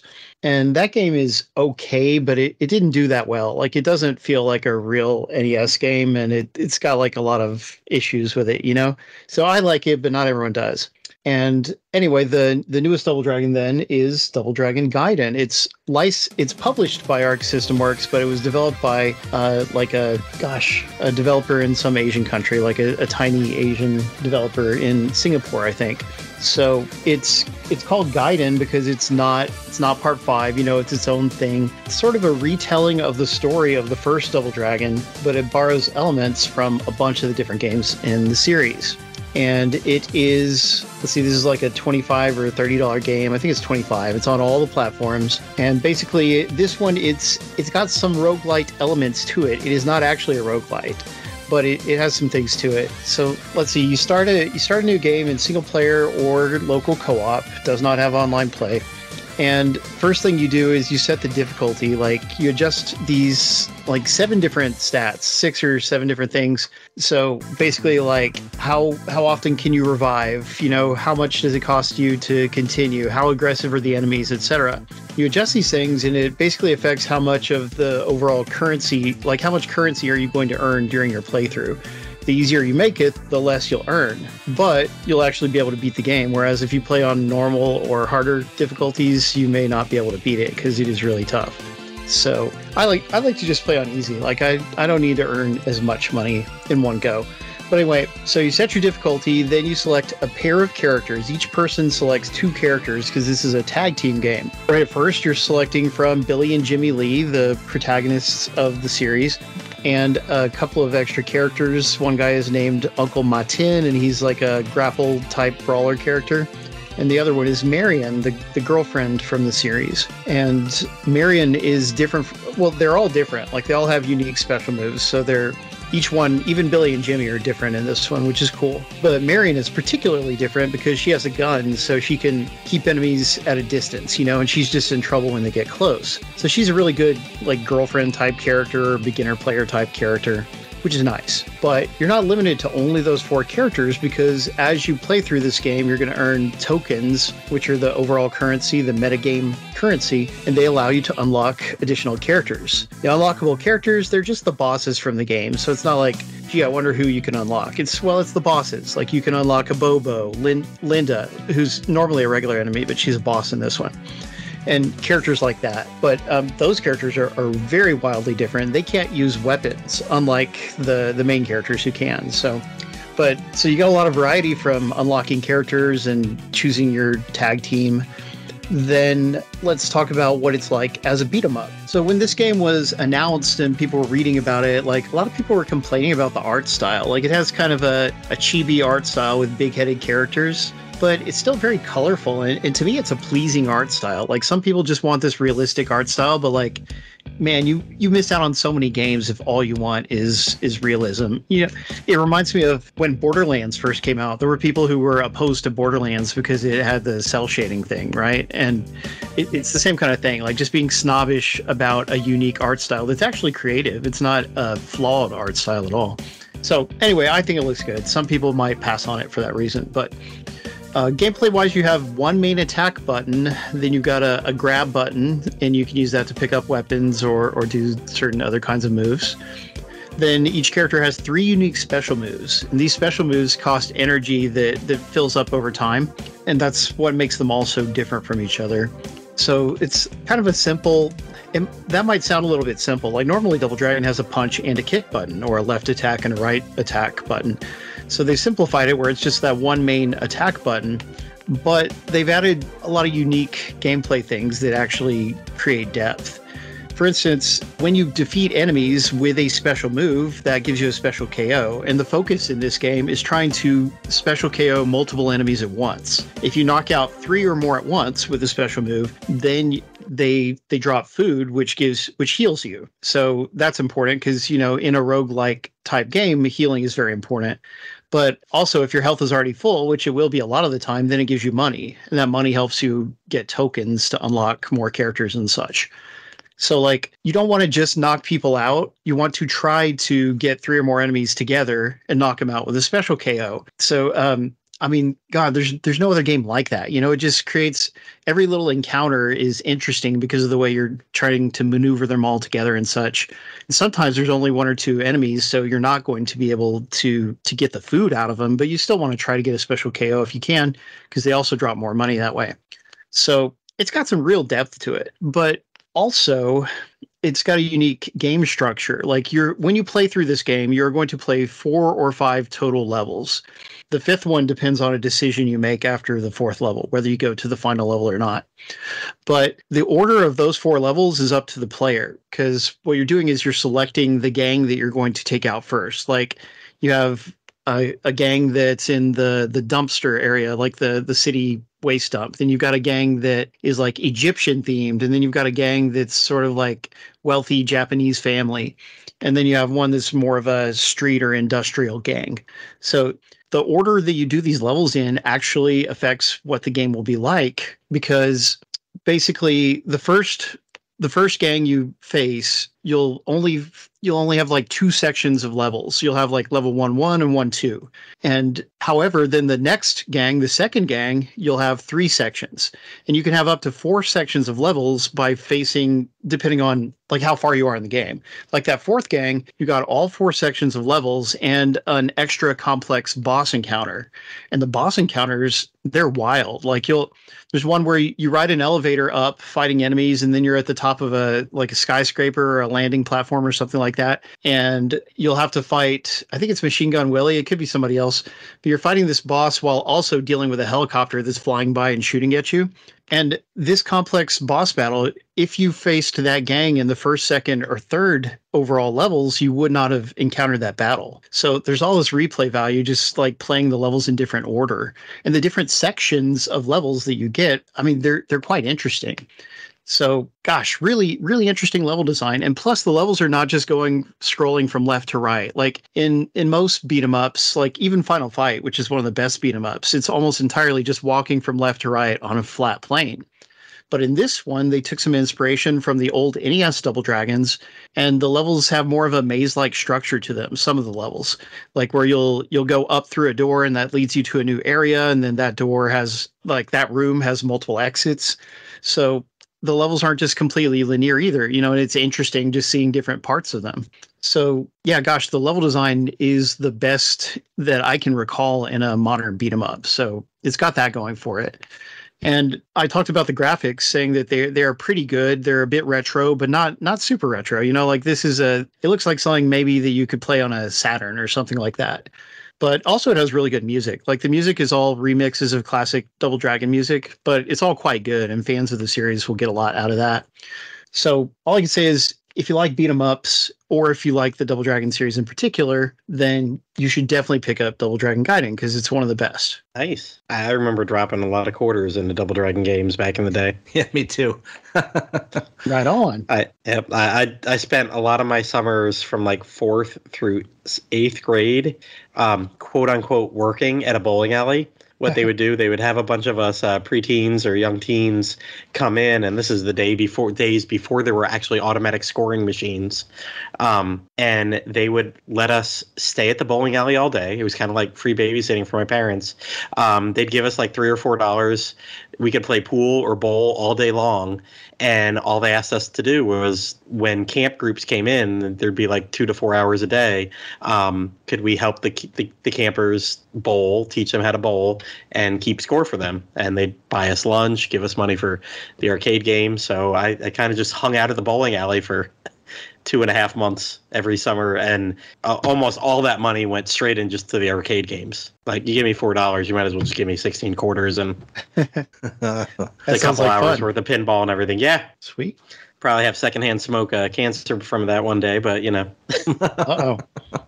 Bowling alleys in the '80s were like casinos. Were, if you weren't smoking, you weren't bowling right. That's how I got good at Street Fighter 2. Was uh, playing that after I was done bowling in the league and beating up all the bigger kids and getting them angry that some little punk was sliding too much of that bison going across the screen back and forth. slide, uh, do cycle slide, or, or no, do the slide, and then the and then the slide kick, and then go back, just go back and forth, and throw. it was so it was it was so cheesy. It, it, was a bunch of cheesing it, but oh well. All right, getting to somebody equally cheesy. It's Yangus. I don't know if that transition worked at all. Probably yeah, not. Well, well, it's about as good as it's gonna get. Ah, oh, that's Ooh. pretty good a pun right there. Yep. All right, so uh, my next game that I'm going to talk about is actually a collection. It's uh, the Final Fantasy Pixel Remaster Collection that uh, released on the Switch this year. Sweet. That's right, it's six games in one for this entry on the favorites list. Originally released uh, throughout 2021 and early 2022, uh, the Pixel Remaster Collection of Final Fantasy 1 through 6 finally got a home console release on Switch and PS4 in 2023. Hooray! I opted for an imported physical copy since trying to get one from Square Enix Online Store not only became impossible, but also because after the Dragon Quest XI debacle, I wouldn't try to buy anything from there, even if I could get something for free. No, I'm still not bitter about that. No, not at all. No, not at all. yeah. But anyway, uh, this collection sees the first six games from the Final Fantasy series getting a graphical and musical makeover uh, using a combination of newly made sprites and reworking backgrounds and areas from previous releases.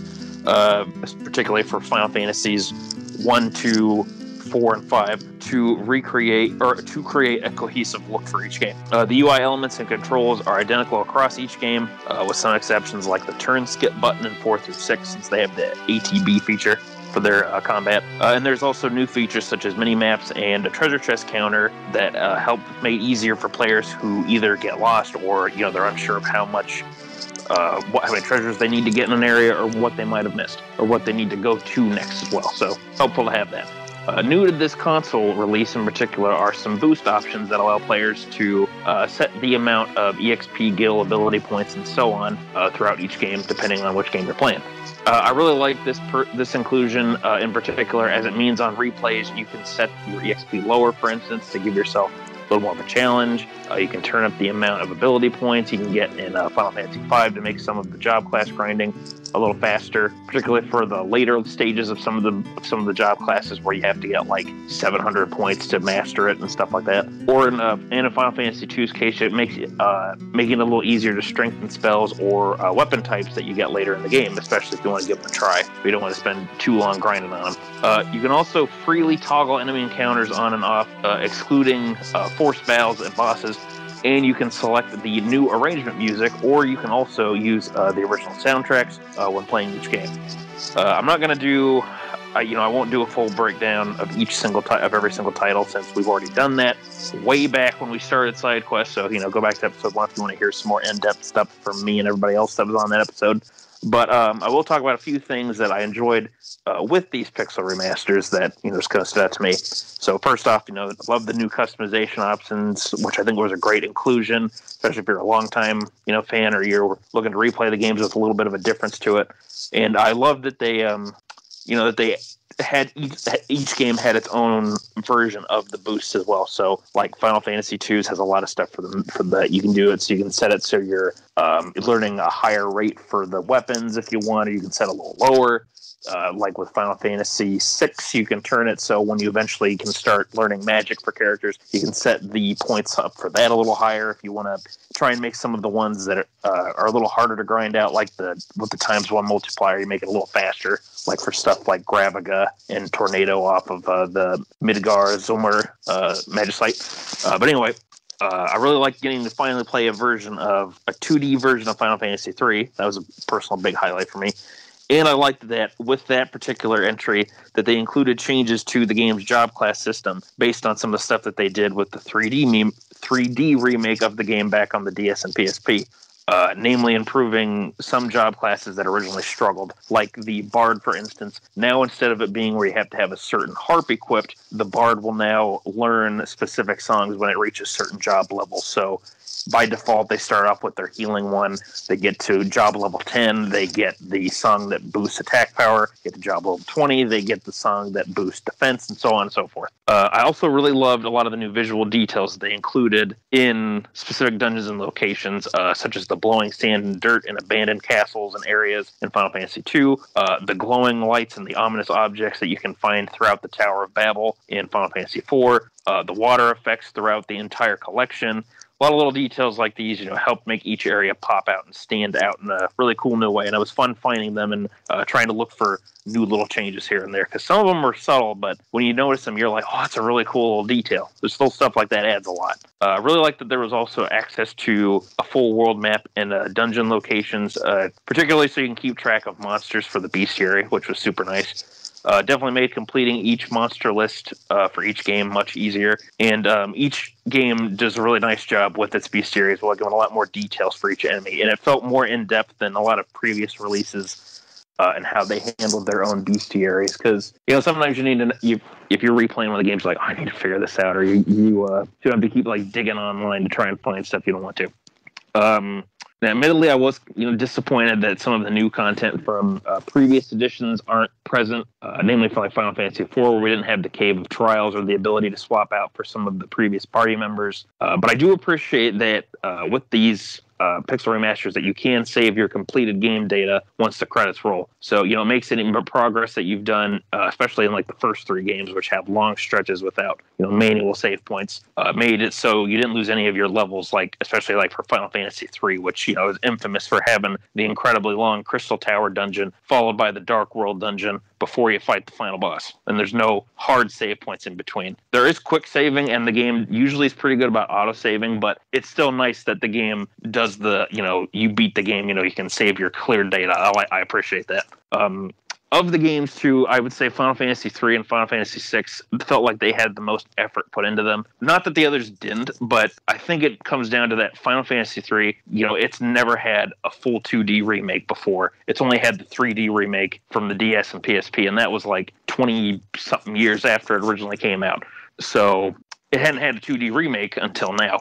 And Final Fantasy VI uh, felt like it had a lot of extra production value uh, put into it for the remaster, with a lot of new details and a lot of like the original backgrounds getting touched up and uh, tweaked a lot, especially in the battle scenes when you'd get into fights. Uh, all the games looked and played really well, but those two in particular just stood out to me and felt like that they developers wanted to really push the envelope for them since uh, Final Fantasy VI is such a fan favorite and Final Fantasy III never got a 2D remake before until now.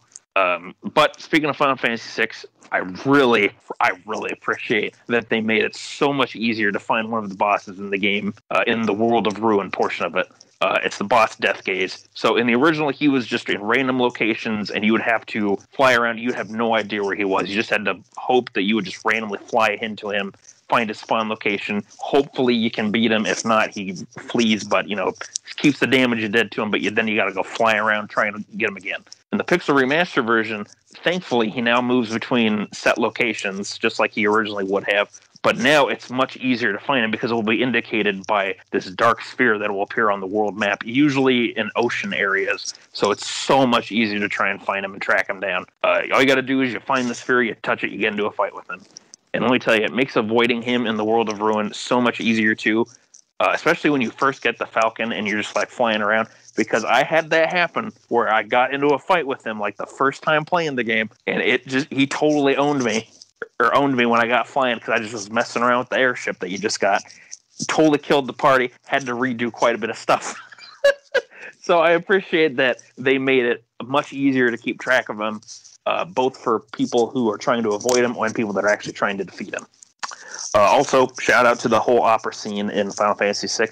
They went above and beyond uh, with that, uh, giving a lot of really cool details to it, giving a two, giving it an HD 2D kind of look uh, for all the performances. And it's crazy too that each of the song, that each of the game's uh, language options, it has its own set of singers for each language. It's crazy. You got Japanese, you got English, you got Spanish, you have the Russian.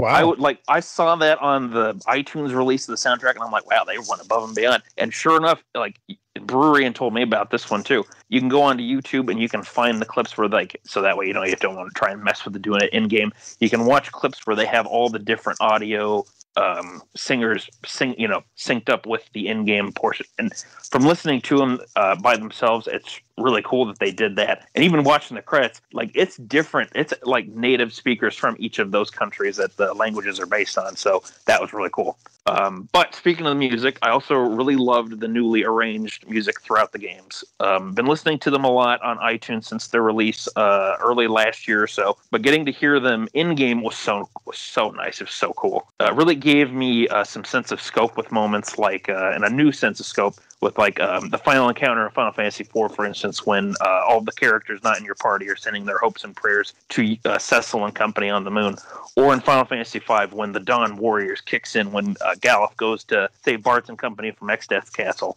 A lot of cool moments like that I really enjoyed.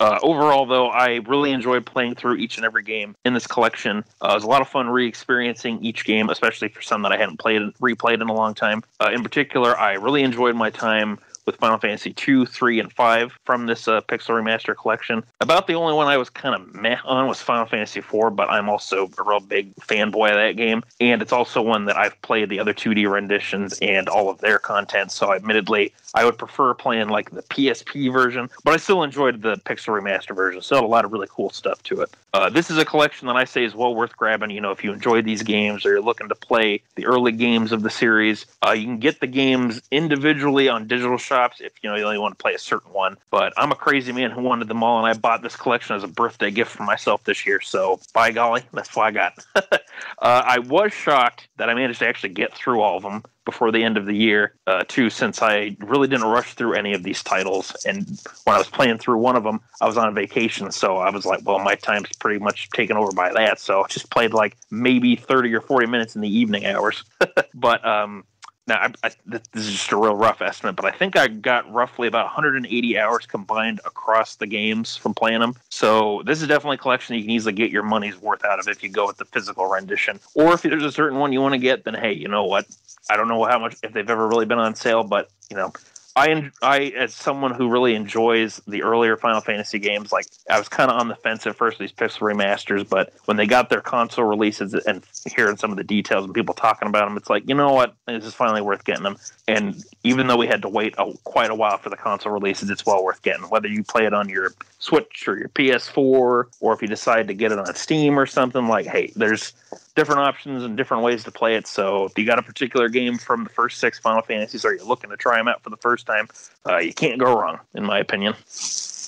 Yeah, I was playing these. Uh, I was playing these as they were coming out on mobile, and I bought one, four, five, and six. I beat one all the way, and then I've started five a little bit so far. And I was just glad more than anything else to see a remake of five and six that didn't look like dog shit as the previous ones did, where they looked like smoothed over characters that looked like a kindergartner rendered them or something. I don't know, but these new ones look fantastic. The way they they redid the the pixels uh, for all of these games, yeah, it looks really good. Uh, I agree with you, Yangus, that the the music for this, the the remixes for the music are fantastic. The, that has been a lot of fun listening to those as I've been going through some of the games. And yeah, it's a fantastic collection and a very good remake of, of each and one of each each of these games. They just all look good. Hey, I do have a question for you though. Does it still have the, the crappy font that were that they had in the in the mobile games, or did they have any other font options or remake that at all? Or by default, they have the more fancy looking font, but you can also change it to classic font, which oh. I did oh. immediately for every single game. So. Yeah, don't blame me.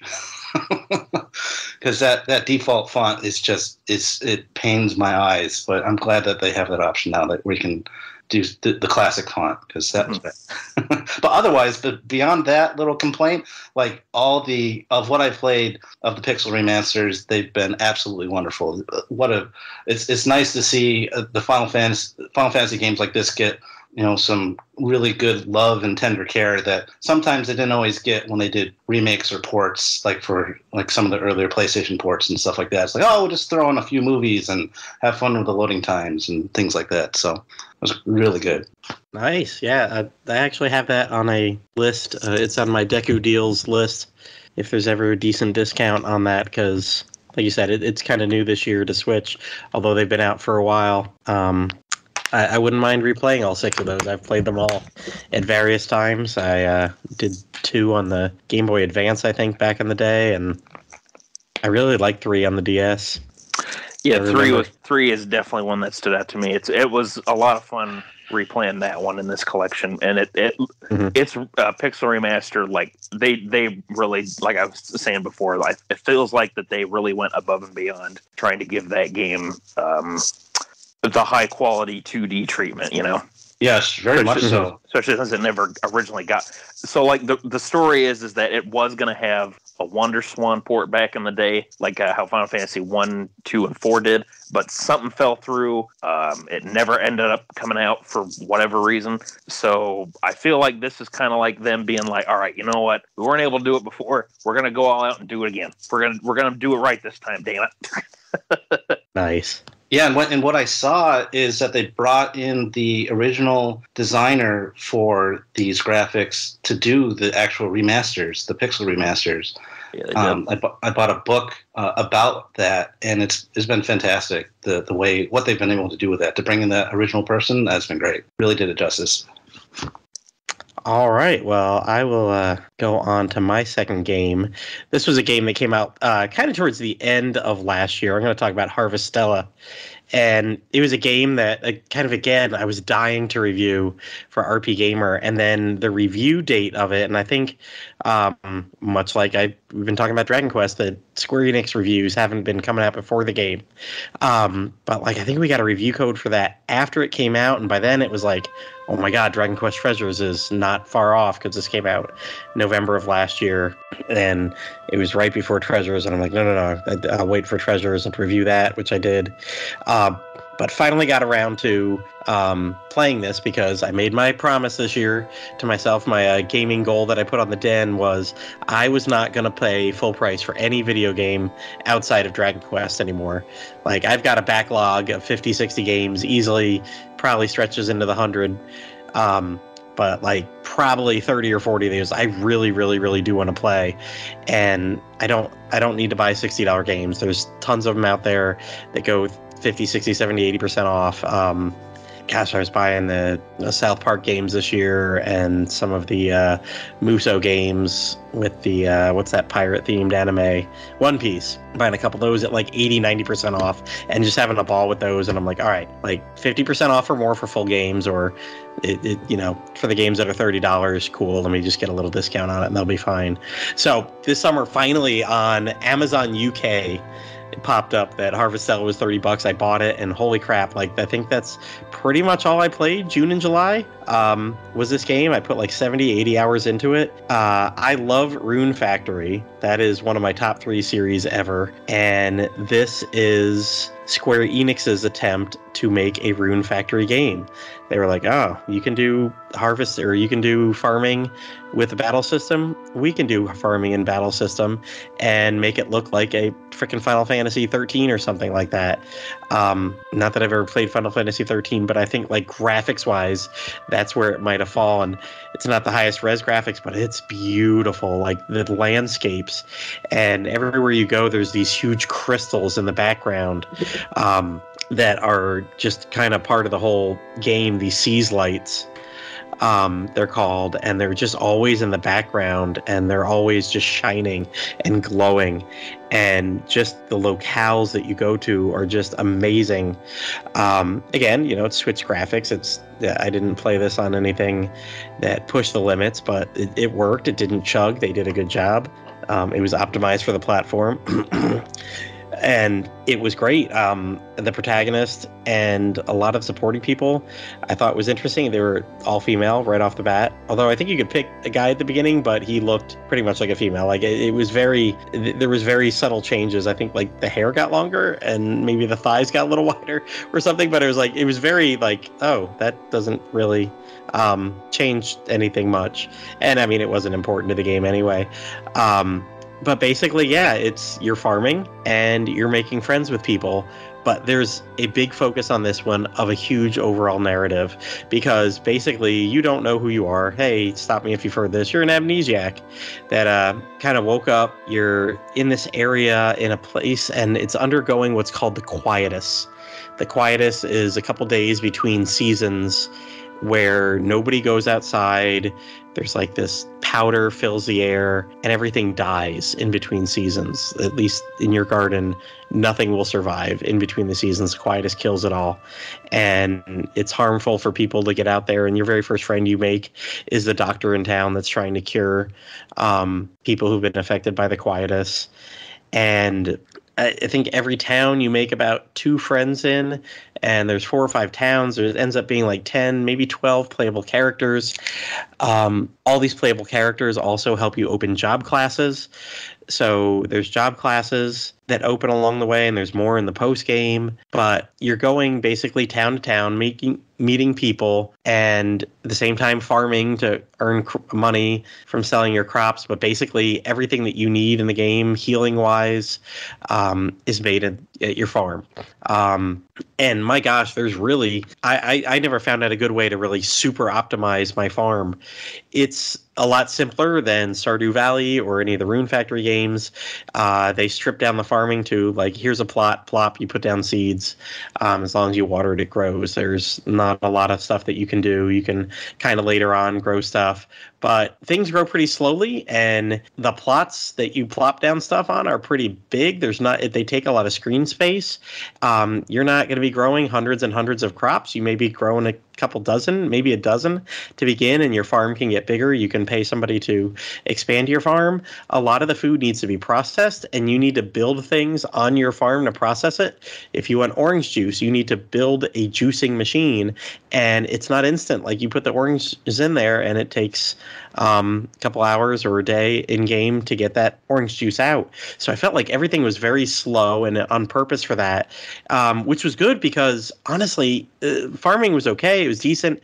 It was the story of this game and the individual stories that just really, really did an amazing job. And you could ignore a lot of the individual stories because these two people in the five towns it built up because each of them had, um, I think it was 10 stars of friendship that you could get with each. So, um, in addition to other side quests around the towns, uh, there was at least 10 side quests per people. So that's like 120 side quests. And they're not really all that short. It wasn't just, hey, get me this one item. It was a lot of times, hey, go here um, in the afternoon, get this, bring me, do this. Um, it was involved, but I found myself, I think near the end, I kind of burnt out and maybe left one or two side quests with a couple of the last people. But I, gosh, the first eight people I encountered, I went all the way through their side quests, made sure I did it 100%. And uh, I know I thought after doing the treasures game, like nobody in our RP Gamer picked it up for quite a while. Um, finally, our editor in chief picked it up, Alex, and I was like, oh, I, I felt a little bad because I'm like, oh, he's not a, he doesn't really enjoy farming sims. He's not a casual gamer. Um, but he loved it, gave it a four out of five, like really praised it. And then kind of unprompted, I noticed, uh, uh, where did he, uh, he went back like a year ago uh, or a year later, like at the beginning of November, I was just going through doing proofreading for some people on RPGamer, and I noticed that he had posted a whole thing. Like he goes, "It's a year ago, a year later," and he uh, wrote an article called "Harvestella's Farming Sim: Nature Belies Its Narrative Ambition," and just went back again and just um, wanted to write a little bit of stuff unprompted, like how this game's still like the narrative and the way it was broken up overall um, awesome narrative, and then all the individual narratives were just really awesome, and just came out at a busy time, and not a lot of people played it, and you know it was a it was something you wouldn't expect uh, Square Enix to do, but they got into it, and it it, it gosh, like narratively that was it, because honestly the uh, battle system was blah. Um, it was an action RPG like Rune Factory is, and you could bring two of your, as you found these people and unlocked them, you could bring two people with you. They were completely AI controlled. Um, what was supposed to be one of the biggest things was all these jobs that you get. Um, you can equip three at a time and just quickly hot um, switch between them in battle. So you could be a mage, casting spells, press a button, run up and just bam, bam, bam with your sword and honestly i it, it was so you couldn't dodge worth a damn. I know it had it in there. I was not good enough to do it. It just felt like it was a slugfest at all times. And pretty early on i unlocked a mage category. And then i think i unlocked a higher one later. And that's all i did. I just sat in the back let my um, MP or whatever it was refill a little bit if I had to run around. Um, but I just took pot shots from the back all the time. Uh, there's another one you unlock guns later, and that was like one I could switch to. And like, uh, I'm just gonna sit back here.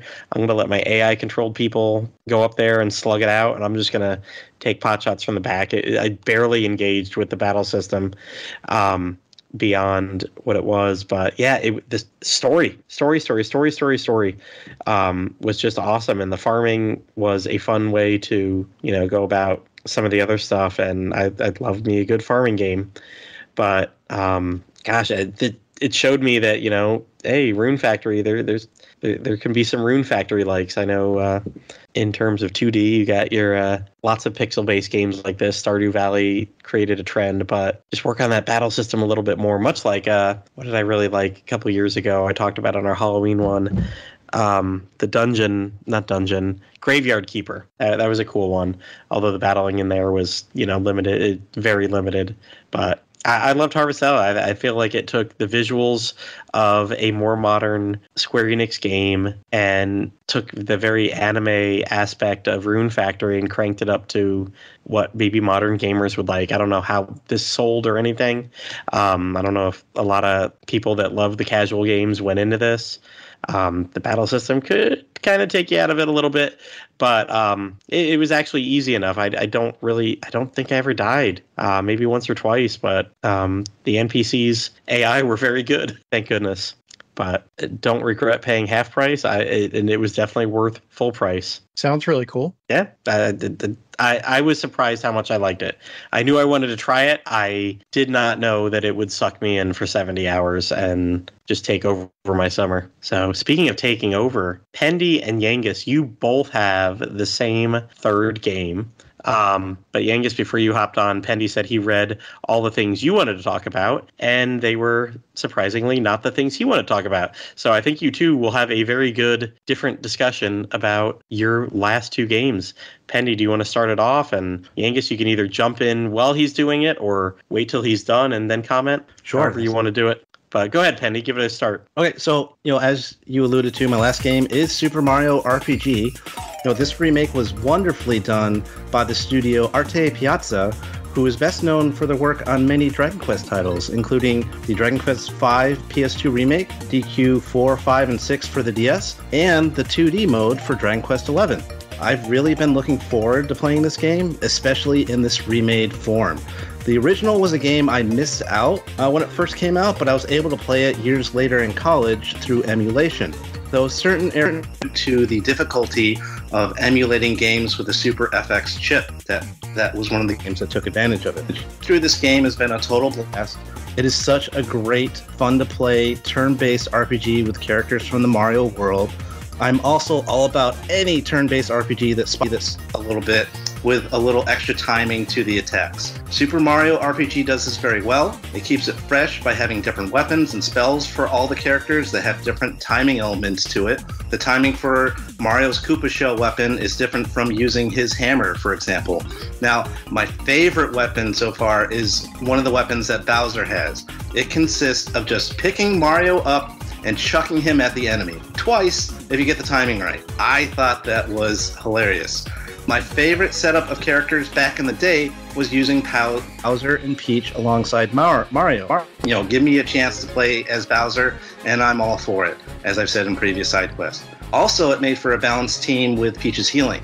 Now, the game isn't super difficult, and it has some good healing item healing items. So now I'm running a team of Bowser and Geno instead. It's a lot of offense and a lot of fun. The little side mission bonus areas that they put in this game are great, whether it be falling down a waterfall while collecting coins or jumping on barrels and enemies as they try to hit you, hit you as you chase the princess who's being carried away by one of the bad guys. The upgrade is tremendous. It's night and day from me from looks very polished. The soundtrack for this game is one of the highlights as well, and I really appreciated that they got the same composer and remixed all the music. If you don't like it, that's okay, because you can switch the settings to play the original soundtrack. a new addition is the action gauge. The more often you, the more often you make well-timed attacks or defenses, the more it fills up. At first I thought it was kind of silly. Like with only two characters in the early game when you activate it, Toad comes out and you get some kind of random status buff.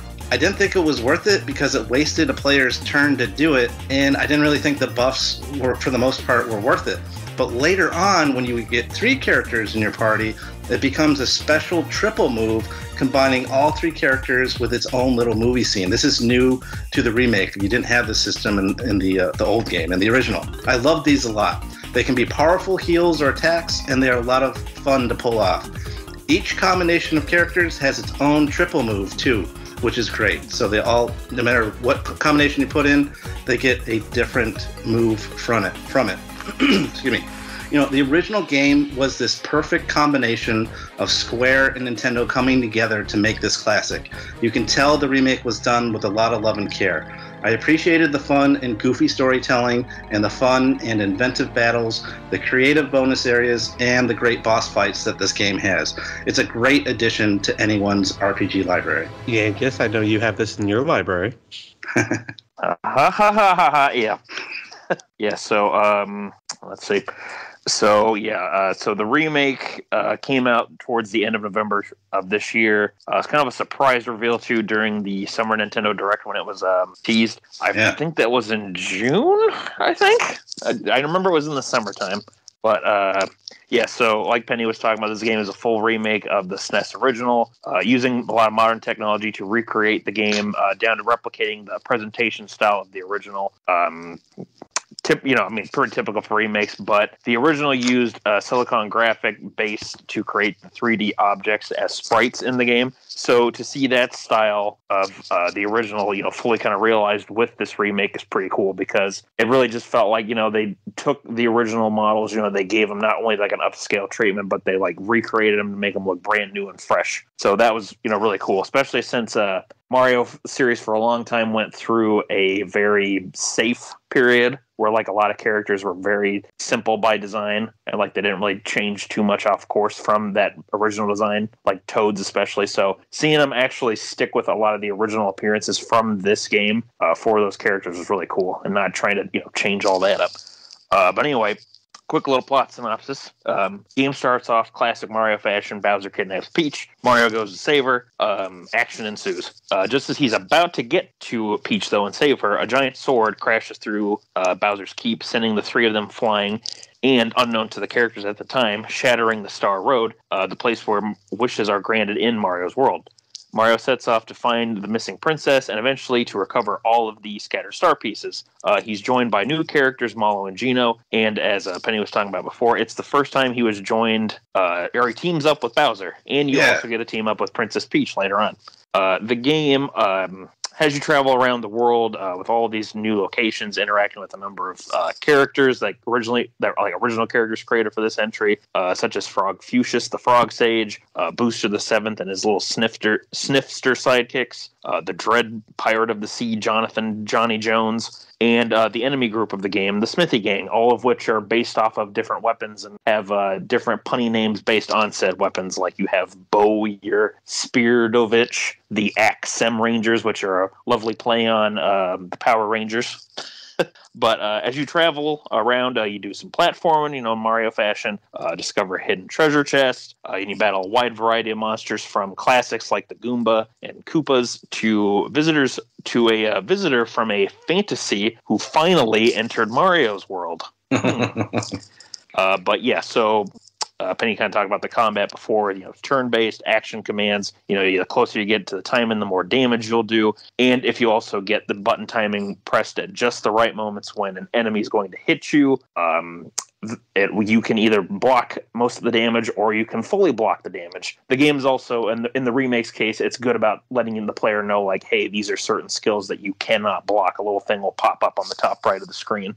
Usually, it's party-wide stuff that you can't block, unlike certain magical attacks. So, you know, the game's usually pretty clear about that. And if you're a player that has trouble, you know, hitting the timing just right for the attacks or for the blocks, uh, the game will have a little prompt that'll pop up to um, when an attack, like when you should try and put it, like it pops up like a little red exclamation point for like, hey, this is when you should hit the button for the attacker. This is when you should hit it for defense if you're having some trouble. So it's nice too that the game kind of keeps track of that if players are having issues or not.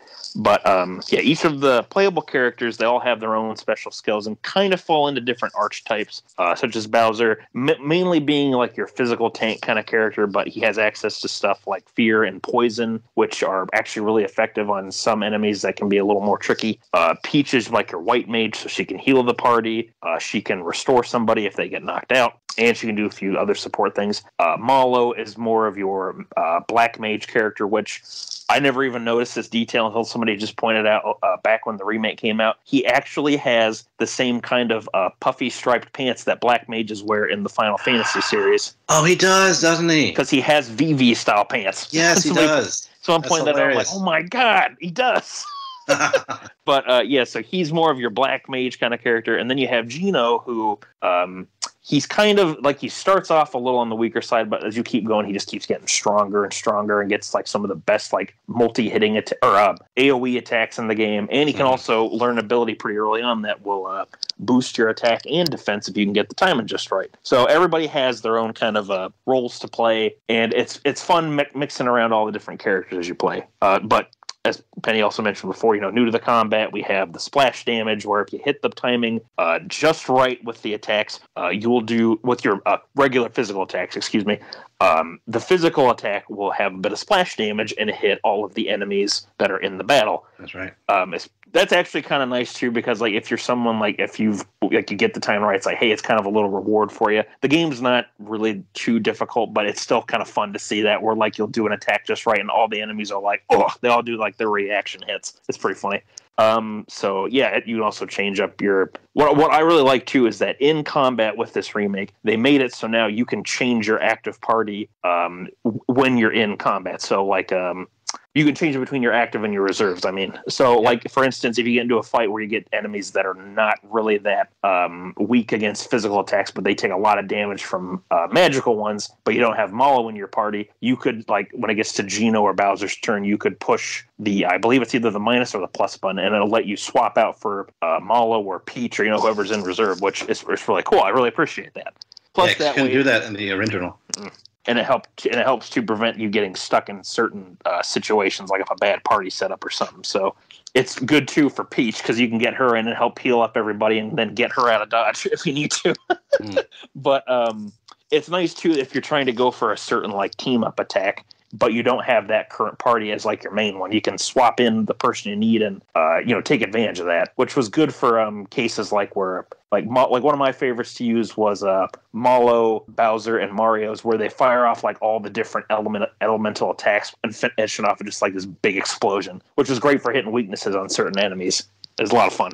But um, mm, mm, mm, oh, before you go on, before you go on, I, I also like in battle how if you time your attack perfectly, sometimes the enemy will throw you back a bonus, like it'll be H, HP to max or defense up, or you even get to do like a second attack. Mm-hmm yeah, that's nice too. When you can, uh, when those little pop ups, you're just like, all right, let's go. We got, yeah. we got a little bonus here. Um, but uh, outside of combat, uh, new additions uh, include a progress journal where the party gives their own takes and on events. Uh, mostly it's Mallow and Geno, but it's kind of fun seeing what they have to say about certain things that happened. Uh, you get a full bestiary with enemy details and any of the um, psycho, or well, I guess it's called now uh, thought thought peaks. I always I call I want to call it the psychopath because that's what it used to be called back on the SNES version. But uh, yeah, you get to see the little enemy thoughts if you if you got all those. And uh, once you beat the game, there's some new challenges that are available to the player uh, to tackle, and some new items to discover for a final brawl to end them all. It's like something straight out of a fantasy. Isn't that weird? but uh, jokes aside, though, uh, the new uh, boss rematches they're a lot of fun, and the brand new super boss you can fight after you know tackling all the other new content. That that was great. I absolutely loved it. It was a real treat and surprise too. Um, funny story about that. I actually you know I managed to beat it on my very first attempt but I was only down to Geno being my only character who was alive in the party. I'm frankly so shocked I managed to win that at all, since the post game bosses don't screw around, especially that new super boss. I, I saved the footage just so I had the proof too, and be like, "Yo, man, I did." I because that oh my god, that super boss. I don't know if you fought the new super boss Pendy, but holy shit, he is, does not pull his punches. It's so much fun, but it is so difficult. Oh yeah, I haven't gotten that far yet, but I've read about it. Oh That's, man, what what it's, level what levels were you at when you did that? I Remember? was at max level for everybody except oh. for two characters, but I've heard people say they've beaten him lower. But it, I mean, you probably can, but I. I'll just say that from being down to only one character, I with Geno, I learned how to time the blocks for all of his attacks and survive. but um, yeah, it's it's it's a, it's a really good, nice treat too, and uh, they have a cool twist for like I, I can't really I don't really want to talk about it. I don't want to spoil anything, but let's just say that uh, it, it, they have a really cool twist on how they handled some of the elements of the of the remake when it comes to that part. But I'll I'll leave that to be a surprise. But um, Everything aside, though, you know, I absolutely loved the remake. I um, I replayed the original many times when it released back on the Wii Virtual Console back on like Labor Day 2009. Uh, had a lot of fun playing it again and again, and it was one game, one of those games that um, I that I really enjoyed it when I first started playing it and just loved it. And not only as a Mario fan, but just playing RPGs. And it's one of those games that I consider one of my favorite um, RPGs that I've ever played and one of my favorite Mario games. Uh, the remake certainly didn't disappoint, and I love that it kept the spirit and fun of the original uh, while adding some nice new quality of life changes like a much bigger inventory system and uh, some of the new content. And it's cool that they also included a bit of an easier mode too. So if um, younger players, you know, are playing this game for the first time, they can play on the I think it's called breezy mode, so they can have you know an easier time playing it too. Because you know if you're not used to RPGs, it can be a little daunting sometimes getting into these things. So you know it's nice that they had that for younger players or people who perhaps are not as good with like timing action command based RPGs like this. Uh, but I being the wonder who remake, I wasn't gonna say names. I'm just saying. I didn't say a name. Yeah, no, no. Uh, but um, yeah. So being the remake, it, and this is one of those few times where I, I'll, I will not be. I'm not ashamed to admit it. The remake, um, beating it brought tears to my eyes, and I do mean that literally because the ending cinematics and new arrangements for the music just totally got to me. But it made me so happy, um, not only to you know get to play through this game in an all new way, but it's it's so cool that now new generations of gamers and old farts like like us, uh, you know, can play the game in a brand new way uh, on the Switch. And you know, in some cases, I've seen a lot of people, like parents who are probably from our age group and you know around that time, who would have played this as kids. You know, talking about, oh, you know, I'm so happy I can share this with my own kids now, and you know, they get to experience it too for the first time, and I get to play it in a brand new way. And I th- like this was just a wonderful remake. I I was just having a blast from start to finish, and it's one of those things where like even though when I beat when I beat it, like I was just so happy to get it done and finished with, but I was also so sad that it was over so soon. and it was just it was just such a great time playing it. I had so much fun, and um, not only just because you know I, I you know I love the original and I really loved what they did with the remake, but it just had so much like it, it was such a well done game too. Like it had it had so much going for it that I really uh, just stuck out to me personally with like the presentation and everything. It just felt like that this was a game like even if this wasn't a remake, like this was just a kind of a return to form for RPGs as a whole for the Mario games or the Mario series since we've had such a weird history with them with the departure of like Mario and Luigi. There hasn't been like a classic combat based one for Paper Mario since um, the Thousand Year Door, which thankfully that's getting a remake next year too. Which looking forward to that. But it was it was cool to see you know that a Mario RPG came back and that so many people were excited and playing it and loving it and uh, seeing all the stuff that people talk about like on Twitter and everything. So definitely a game that I just enjoyed the hell out of. I'm definitely looking forward to replaying it at some point in the future here. And definitely I would consider this like my absolute favorite game of 2023 because not only was it, you know, such a cool surprise, but it was handled so well, played so well, so much great things about it. And um, it was a great way to end 2023 in my opinion. Even though I was playing other stuff, this was a great game to uh, kind of wrap up part of the end of the year with. So, yeah, there we be. Alrighty, I my other podcast I mentioned before, RPG Backtrack. Um, it was started like 13 years ago um, by an old editor at RPGamer, and when they started that podcast, episode number one was Super Mario RPG. So we're hitting episode 300 next Wednesday, and for episode 300, we're going back and doing Super Mario RPG. Awesome. Well timed with the release. Um, I think I'll be a little bit late. I've actually got this uh, reserved at the library. I think in the next day or two, maybe um, it should be sent my way. Um, and I know it's only about 12 hours, so maybe I'll get halfway through before we record Wednesday night because I've got a couple of weeks off of work here. Um, but yeah, I plan to get it from the library and probably knock it out in a week because what is it, 14, 15 hours? If I'm not Yeah, going to do all the bonus stuff, probably. Yeah. Yeah. If you don't do a lot of the bonus stuff, you'll be done in about 14, 15 hours or so. Yeah. There, there's a lot of stuff to discover in this game, though, so it's definitely There one you don't want to try and rush through. Mm. Yeah, there's just well, yeah, I I don't think I'll be finishing it before any uh, podcast, but yeah, it's just I not can a su- rent again. yeah, it's just not a super long RPG. Um, but and then that was like one of my complaints back in the day is that it was just too short because it's such a good game and you get to the end it's like oh no that's it I want more. but yeah, it's it's a it's a tight you know 14 15 hours and it's just you won't get bored at all. It's it's really good, really well made. It, it's one of the you know a lot of people say it's one of the best RPG RPGs for the Super Nintendo or, or even of all time for a good reason. Excellent, Mhm. excellent. I'll have to get good at my button pressing or uh, that mode that uh, has talked about. Just play breezy mode. You'll be fine. It'll be a breeze. Yep. I actually, I kind of planned to, uh, before I get to my last game that I pivoted to, I, I planned to try to get to it. Um, I was on a cruise for a week about two weeks ago, and uh, without Wi Fi on the cruise ship, I wasn't going to be able to play Dragon Quest Monsters um, on my Switch Lite because I'm not the primary Switch. My son is. And so I was like, oh man, I got to bring a game. And I was thinking of uh, playing Super Mario RPG. And I'd put an hour or two into it a couple weeks ago, maybe like almost two or three. Um, the original, I had it on my Vita. Um, and like I opened it up on the cruise ship the first night and I'm like, I don't know where I am. I don't know what I was doing. And I got in a few battles and I'm like, oh, I've already lost all the I was doing okay with the button presses and uh, kind of spun my wheels for a couple days. And then randomly just I was like, you know, I've wanted to play another Atelier game for a while. I reviewed a Atelier Lulua like about five years ago um, and really enjoyed it. And I know they're not super closely related, but back on the PS2 I played Atelier Iris Eternal Mana or something like that, which apparently was not much like the mainline Atelier games.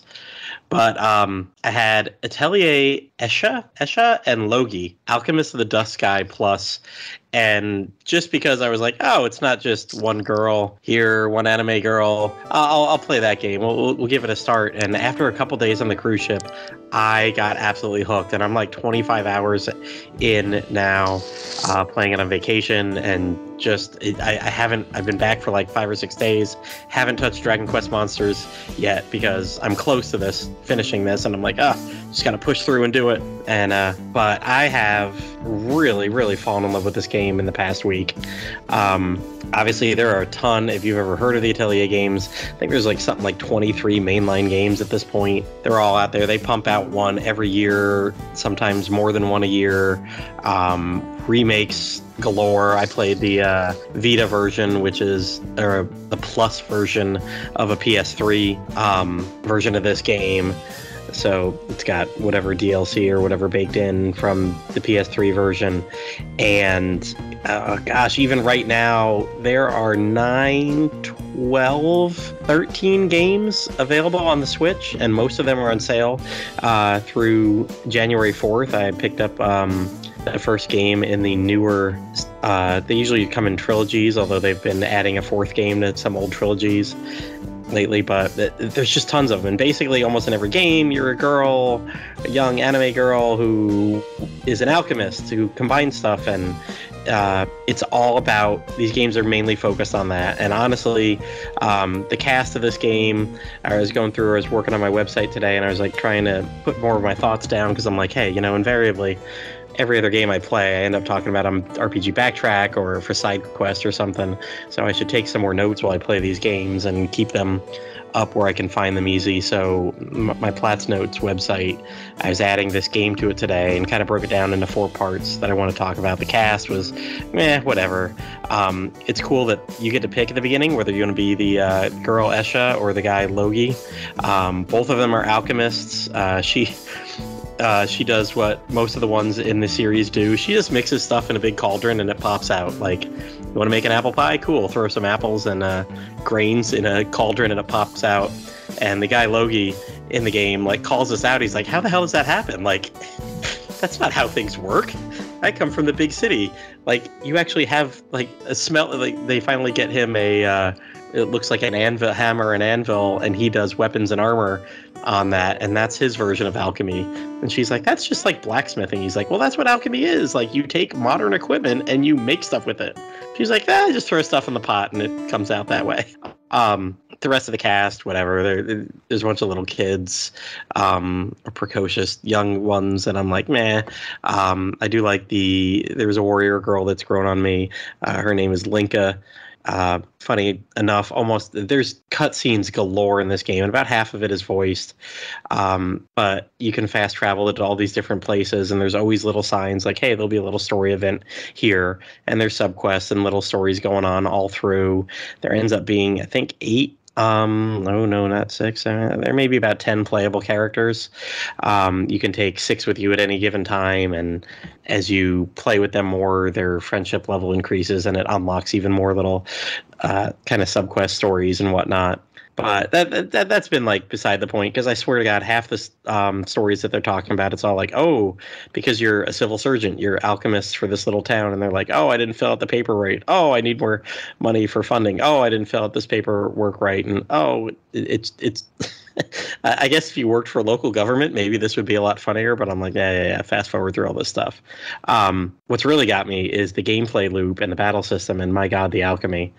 Um, the gameplay play loop is, and I guess with an older Atelier games, they're all timed. You have a certain time limit, and this one you have three months at a time to complete one main task. Um, and there, it's on a five by five grid. You got this main task in the middle, and then they instantly show you the eight little boxes around it to make the three by three grid of nine.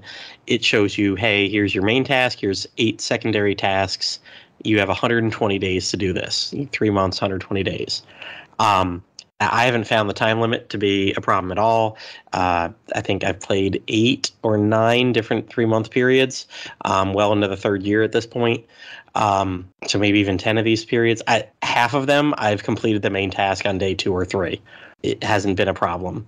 Um, some of them, it takes two weeks just because you have to walk to the place and complete the task somewhere. Um, I can usually knock out within 20 or 30 days the eight um, secondary tasks around the main one, and all of those give bonuses. It's almost like a casino. You get a bonus for every line of those you complete. Um, and you can get permanent stat increases. You can get new alchemy books from them.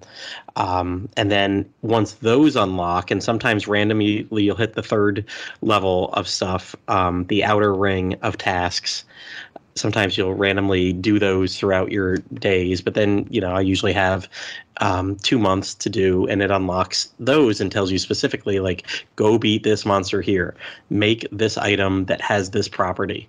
Um, and i've had fun with that especially i mean this is where the, my time runs out. Uh, i think only about half the time i've completed all 25 tasks. I'm not looking to min-max this game by any means so i do and i've barely looked anything up. Um, i've done some stuff. I've actually been locked out of doing one or two things because i hadn't advanced my friend friendship level enough. Um, I think the one thing I finally looked up yesterday was I was like, why can I not? It told me to go somewhere. I'm like, this isn't on the map. And I looked it up and I'm like, oh, you know, as you can do this guy's side story, that area will unlock. And I'm like, oh, well, that's one of the fools that I never put in my party. So I've not really been doing his side story. Oh, well, I did 24 out of 25 events this um, month. It's fine. And what's kind of nice is doing all those third level tasks don't give super high bonuses. So whereas doing the nine secondary ones, first and secondary ones, you get like permanent stat increases and everything. They don't have that for the last. It's just like, hey, by the way, if you want to be a completionist here, try these next 16 tasks. So Really love that system. The battle system is pretty good. Um, yeah, it's tra- traditional turn based. Um, everybody's got a few skills or spells. Um, lots of area of effect stuff. You got a bar at the top that shows who's going next. Um, you can see what your area effect is going to hit from the monsters. Uh, when walking around, you see all the monsters on the screen. You can whack them to get, um, you know, start with the advantage in battle. Uh, the way it plays out, as I said, you could take six people, but three people are your main party, three people are your backups, um, and they literally are like linked to the person right in front of them. So really you're only battling with three at a time but anytime it's somebody's turn you can instantly switch them out and do that and um, the way these games play the alchemists you make bombs, you make um, explosives and different things and healing items. That's what they, they, have a limited capacity to bring some of those with them. Um, so you develop bombs and it you can these bombs have four charges. Well you can use them in four battles uh, and then you can't use them until you go back to home base. And then there's always story reasons why oh you got these little guys here that'll always make extras for you. So when you come back they'll be replenished. It's fine. You don't have to remake them yourself. Um, but just um, and then those two players can use those items everybody else they're just like a regular rpg character, although they uh, after a while you unlock a specials gauge for them, so they can build up to a special attack. Um, what's fun is people can do follow up attacks, and getting it so that all six people can do follow up attacks is pretty awesome. Uh, the last one is really cinematic and a huge attack, and uh, as I've gotten pretty good with this and leveled people up and really spent a lot of time with the alchemy, getting their weapons and stuff better to do more damage and whatnot. Like I've got more and more times where I've been able to do the chain of six in battle, and that's just fun. It, it's almost like a puzzle. But my favorite part, which I like 10 out of 10 here, is the alchemy in this game. And I think um, this, this is the part that's really keeping me from getting back to Dragon Quest monsters at the time because it's basically synthesis. You're doing synthesis. And what do I love so much about Dragon Quest monsters is the synthesis. So uh, I'm inserting a synthesis game in here. And the way the alchemy works, it's. Um, like a puzzle game. There are four uh, elements earth, wind, fire, um, water, and every item has two different attributes tied to that. Like, uh, what is it? If you add an item into the pot, you might get two little earth bars that pop up. But also, it might add 20 to your earth meter for the final product. Um, and the order that you put these items in is very important because as you put them in, two different things are building up. One is your specials meter. Like I said, you get like these two little fire bars. And if I have two little fire bars, I can activate a skill of mine that doubles the amount of bonus the final element will get from the next item I dump in the pot.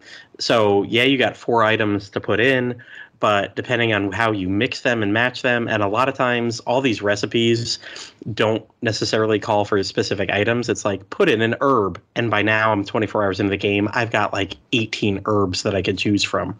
So I'm like, all right, what herb is going to have the most earth power that I want to use in this next item. And then it'll say, hey, put in a crystal. And again, I've got like 23 different crystals that I've collected along the way. And it just becomes a puzzle of putting these things together. And I mean, you can just throw it in haphazardly, have the game recommend it, and it puts it in, and you'll get an item, like you'll get a bomb. But I, there's these little bars that you can see on the final thing, uh, on the final item screen. And if you can get your power meter up to these, it unlocks all these different um, special things about it. I can make a basic bomb, cool, and get the explosive power out of it. Or if I do my items right and I'm a high enough level, I can get a bomb that has adds extra fire damage and extra ice damage. And instead of um, blowing up or like I get four uses out of it, I can use it like eight times in battle, um, and just on and on and on. It to me, it's like a puzzle. It, it's you know as much as any other game, like you, you putting the stuff together, or taking it apart, and it's very easy to like just hit the B button back up. Like, no, no, no, that didn't affect it the way I wanted to, and you know, just getting these items that are ridiculously overpowered um, is quite fun. So I, I, think I'll stop right there because I, I don't think there's any other way to explain it. I didn't understand it completely for the uh, first six to seven hours, and then when it clicked, I think my third three month period, I was like, oh, that's what that does. That's why I really want to pay attention to the order I'm putting it in. Like, I could do so much better. Yeah, I can make a sword with 30 attack, or I could make that same sword that, like, has plus 10 defense and does an extra fire attack and builds up my special meter farther. And I think you can get up to eight special effects on any one item that you're crafting, or seven, seven special effects four, one for each of the uh, elements that you do, and then at the end also you get these uh, CP crafting points or something that you can use on special effects on them. So yeah, I mean you can make a bomb, or you can make a bomb with up to seven different added things, and that challenge is just I'm all about that. I'll make somebody armor, but by golly, I'm going to make that armor with six or seven bonuses to it. And if at the I can at the end, I'm going to duplicate that armor. If I, I that's my goal with the earth element always at the end is I want to use the multiply. So I don't just get one set of armor out of this. I get two or even three if I can swing it well enough. So I, I don't know how much uh, alchemy and synthesizing I'll be doing after this and uh, Dragon Quest Monsters is done in January, but I'm I'm loving it now. So I'll end there and I know a few of us have some honorable mentions. Pendy, I do. I have a couple. So very short though. Uh, the, my first one is Street Fighter Six. Uh, the new Street Fighter game that came out this past year has been excellent. I don't have much to say about it just because I haven't played a lot of it. I've mostly played just local co-op with uh, one of my one of my friends, and even just that much of it. Not co-op, multiplayer. a multiplayer. Thank you. Thank you. Mm. See, there's my correction. There's my correction for the podcast. yeah, the, the local uh, multiplayer has been fantastic. Um, maybe I'll be able to play Paul because Paul, you got this game too, right? Yeah, because it has- should play it. Has crossplay with, with the Xbox and PlayStation and whatnot, so you don't have to be on the same system. But uh, I've, I've explored a little bit of the lobby system, which looks fantastic, and I like all the little different bonuses that you can get. Uh, but mostly, again, I've just played just local multiplayer. I played in a tournament um, at the base that I'm at, and I've I played with some friends, and I love the drive mode that it has, where you everyone gets like a full drive mode bar at the beginning. Uh, but if you abuse it too much with the different special moves that you can do, or the parries, or, or the what, what have you, then um, you basically uh, are in a in a state, a burnout state, where you can easily get stunned, and so you can't you know overdo it, or you can't you know you can't use those moves anymore, and and and you're plus you're invulnerable as well. So Street Fighter Six, a lot of fun, loved it. Uh, my next one is just Tact, Dragon Quest Tact, RIP, since it's uh, now going to have end of service the end of February. Uh, it's just been fun this past year getting uh, characters like the hero of Dragon Quest V, or I should say the protagonist of Dragon Quest V, along with the hero or heroes of Dragon Quest V.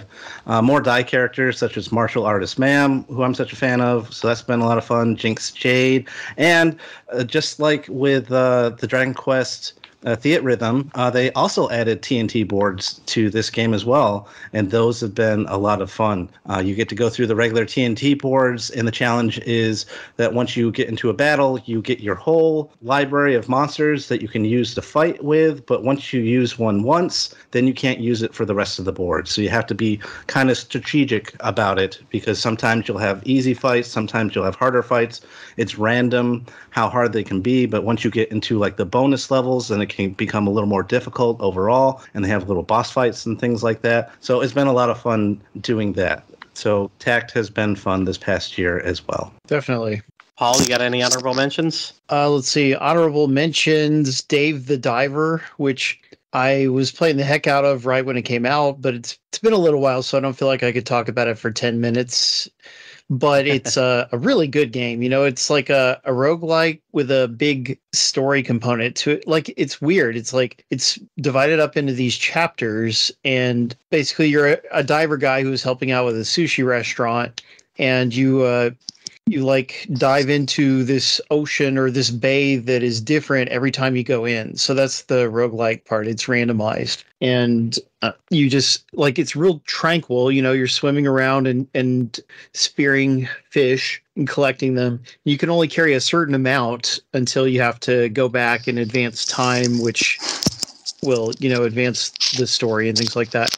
So you have to think about like what kind of things do you want to collect right now? So there's the diving part, which is really, really fun. And then there's also the sushi restaurant part, which is not as fun, but it's still a good component. And basically it's sort of a time management game. Like you you pick what dishes you are going to offer at all, and then the the night starts and people come in and you have to serve them. And and uh, you know they'll they'll get fed up and leave if you don't serve them quickly enough. It's quite challenging but as you get farther in then you can hire people to help you and things like that which makes it easier so you have those two main gameplay elements and then there's an intriguing story going on as well. You know like there's a some kind of mysterious underwater civilization you know kind of an atlantis type thing that you learn more about as things go on. And there's npcs who will who will approach you like before right before your dive at certain points and they'll make requests of you and so then you have to do their missions and doing those missions is how you advance the story. And it's it's just super good. Like uh dave the diver it's only on steam and switch. It's great on steam deck but like if you have one of those platforms and you could enjoy an, a creative indie game then then you should get it because it's just there's nothing else quite like it and it is just really really good and fun. Nice. so that's my honorable mention. All right, Yangus. Uh, yeah, so for my honorable mentions, um, first one is Suika Game, which is um, like three bucks on the eShop, and I think it's on other stuff too. Uh, basically, it's a puzzle game where you match up fruit, you make the fruit into bigger fruit. Uh, you want to get the, the the coveted watermelon. You get the watermelon. Hey, guess what? Uh, you, you you did good. You got block points. Uh, pretty simple to play and understand puzzle game, but it's very addictive. Uh, it's good just to kind of turn on to play as like a relaxing sort of game. And I love the the silly art style it has with all the fruits having different little cartoon faces. Like I love how the little tangerines have like a shocked face. So like, oh my god, don't turn me into an orange, please. but um, and, and it's when certain holidays have rolled around too, they've had little updates to give you like a a theme for that one. So like right now, there's like a Christmas one that you could use, uh, and they had a Halloween one back in October, which um, was funny because it actually switched switch or swapped out the watermelon for a uh, pumpkin with like you know classic jack o' lantern face, and uh, all the fruits had like panic looks on their faces, like they were scared, being in a graveyard and all. But uh, yeah, so it's it's one that's pretty cheap, um, and it's it's well worth picking up if you're just looking for like a fun little puzzle game to play uh, when you got to kill some time. Uh, other game I'll just quickly mention. Uh, we discussed this one in part one of this uh, two-parter, but uh, Vampire Survivors. Um, Oh yeah. got this one back in the summer. Uh, it's very, very addictive game. It's a roguelike type of game where you have to try and survive for as long as you can, uh, up to 30 minutes. If you can get to that point, the Red Reaper will come out. And if you can somehow beat the Red Reaper, you're going to die anyway because then the Cloaked Reaper comes out and he just kills you in one touch. There's nothing you can do about that. But uh, you can choose from a variety of characters and upgrades. You know, see how you can do in the various levels. Each of them having their own kind of enemies and challenges and stuff. Uh, some of them being more like focused about gathering money, others being more about getting equipment, uh, getting levels quickly, and all that kind of stuff. So a lot of different ways to play. Uh, very easy to understand too as you uh, pick it up and play. Tons of secrets to unlock, like a bunch of characters and things. It's crazy how much stuff this game has to unlock, and the price is only five bucks for it, so it's really not that uh, high of a price for a game that you can get plenty of time out of. Like I think I have about 50 hours or so, according to my Switch. Anyway, it's been a good game, kind of like Suika game, to just kind of plug it, like put on and play when I'm listening to something, or if I just need to kill some time for a little bit at work or whatever. Uh, when I'm on my lunch break or whatever. But um, there's also DLC for the game that adds a lot of new content as well, uh, like characters, maps, stuff like that. And I'm pretty sure that so far all the DLC has been two dollars. I know there's a new one where they have like a crossover with Among Us. I don't know how much that one is, but I've heard a lot of 250. It's two fifty for that one. Okay. Yeah. So, yeah, it's fifty cents more, but yeah, it's, you, you get quite a bit for your money's worth, and like Oh, yeah. I still have a lot of stuff that I can unlock and do, but it's just fun to like replay levels with other characters and, get those mark those little check mark uh, check mark boxes off and be like, hey, you beat the level with this character, good job. But uh, yeah, it's well worth grabbing if you enjoy um, bullet hell type of games, or if you enjoy arcade type of games where you know it's just the simple, you know, see how long you can survive to uh, get a high score at the end, or if you if you're someone that just likes uh, just a fun little action game where you can just kind of run around and see how crazy you can make your character as you destroy all these endless waves of the undead and monsters and uh, in some cases living trees and mushrooms that just kind of dance in place and don't bother you at all but you got to kill them because they got that, that those precious exp crystals and money. You got to take them out. But yeah it's a lot of fun and uh, like Suika games pretty cheap. So hey if you even get just get the base game for the five bucks or whatever or if it's ever on sale then hey you're going to get plenty of uh, time from your money's worth if you enjoy just a little quick something to pick up every now and then.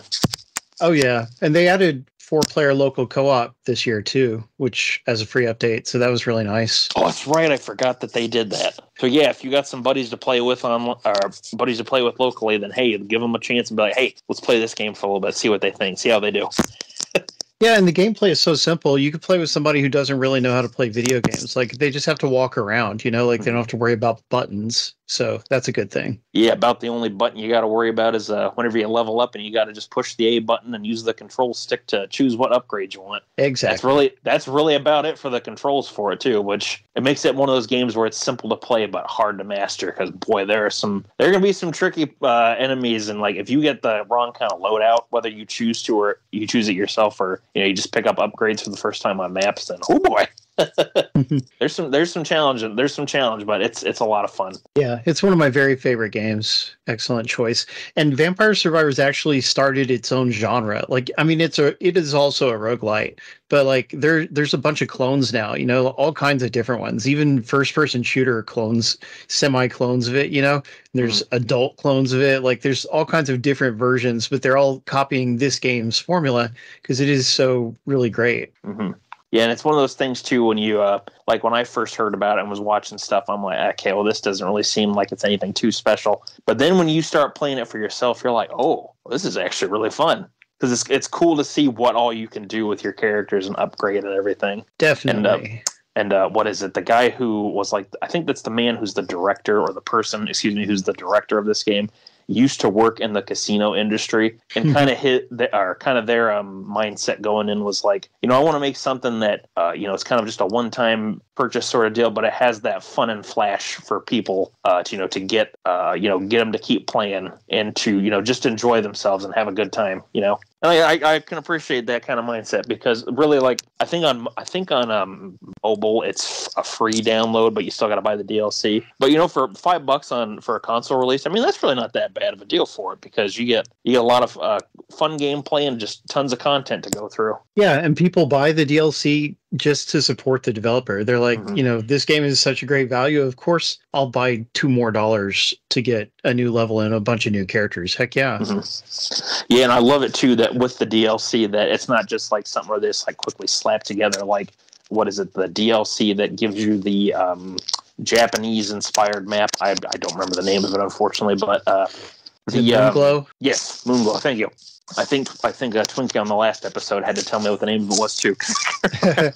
but um, yeah, Moonglow is it's a fun, it's a great map because it's just it's just absolutely huge. It's uh, unlike the other ones which kind of have the endless thing going. It's more of a box, like a big boxed in area.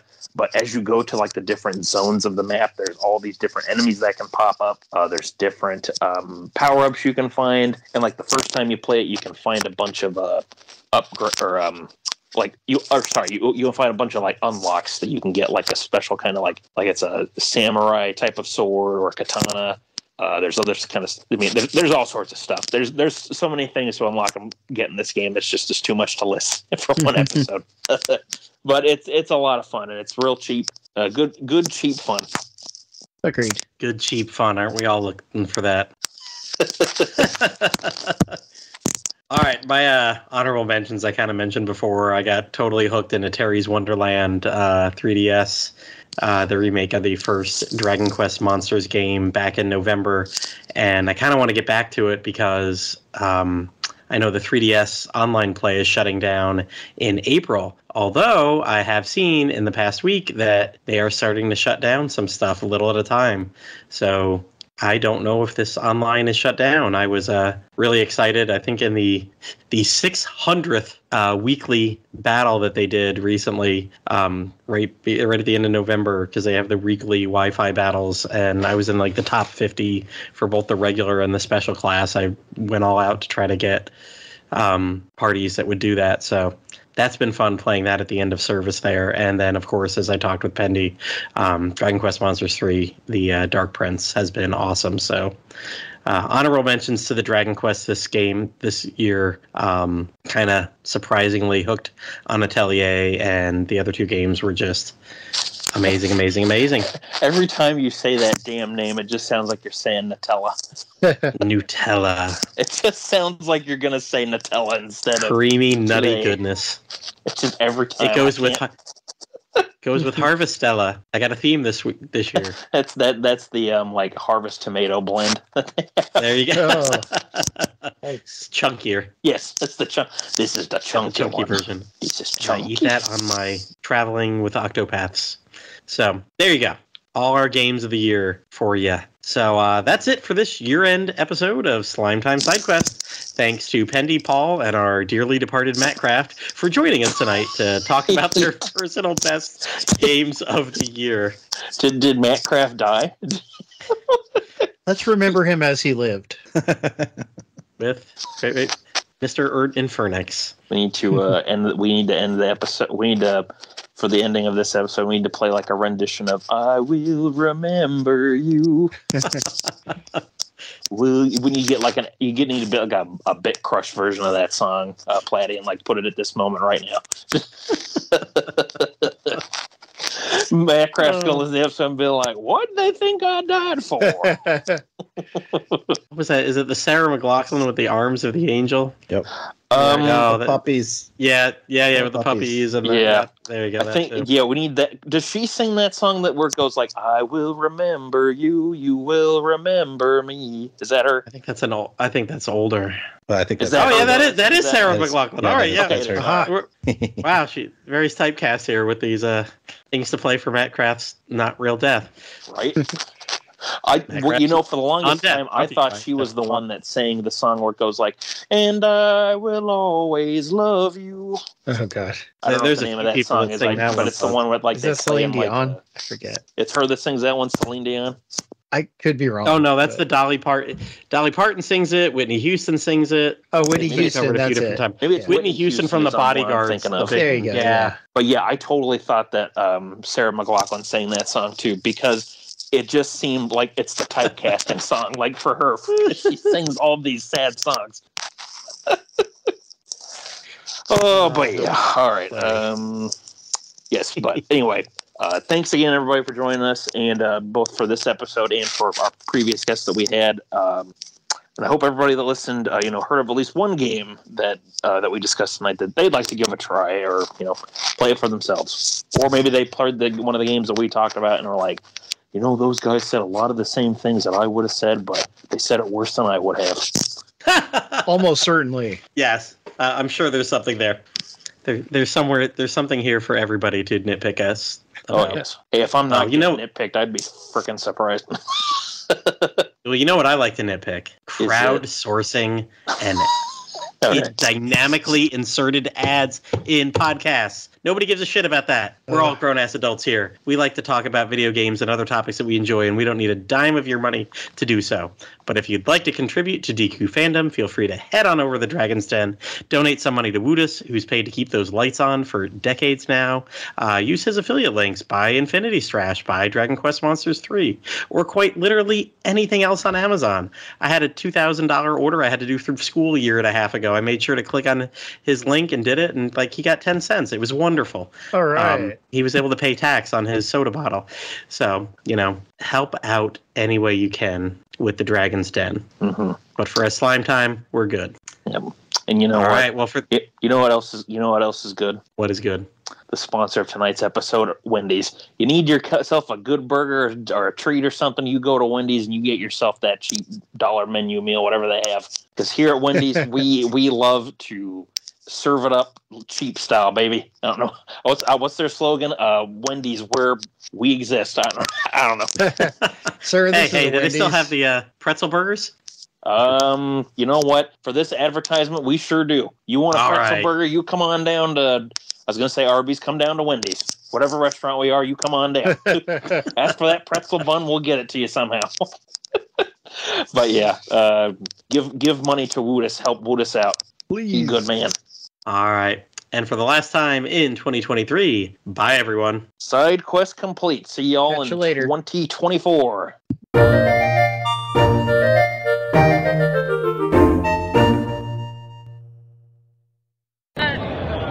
This is Goochtrude for Slime Time, reminding you all that you must complete your adventure.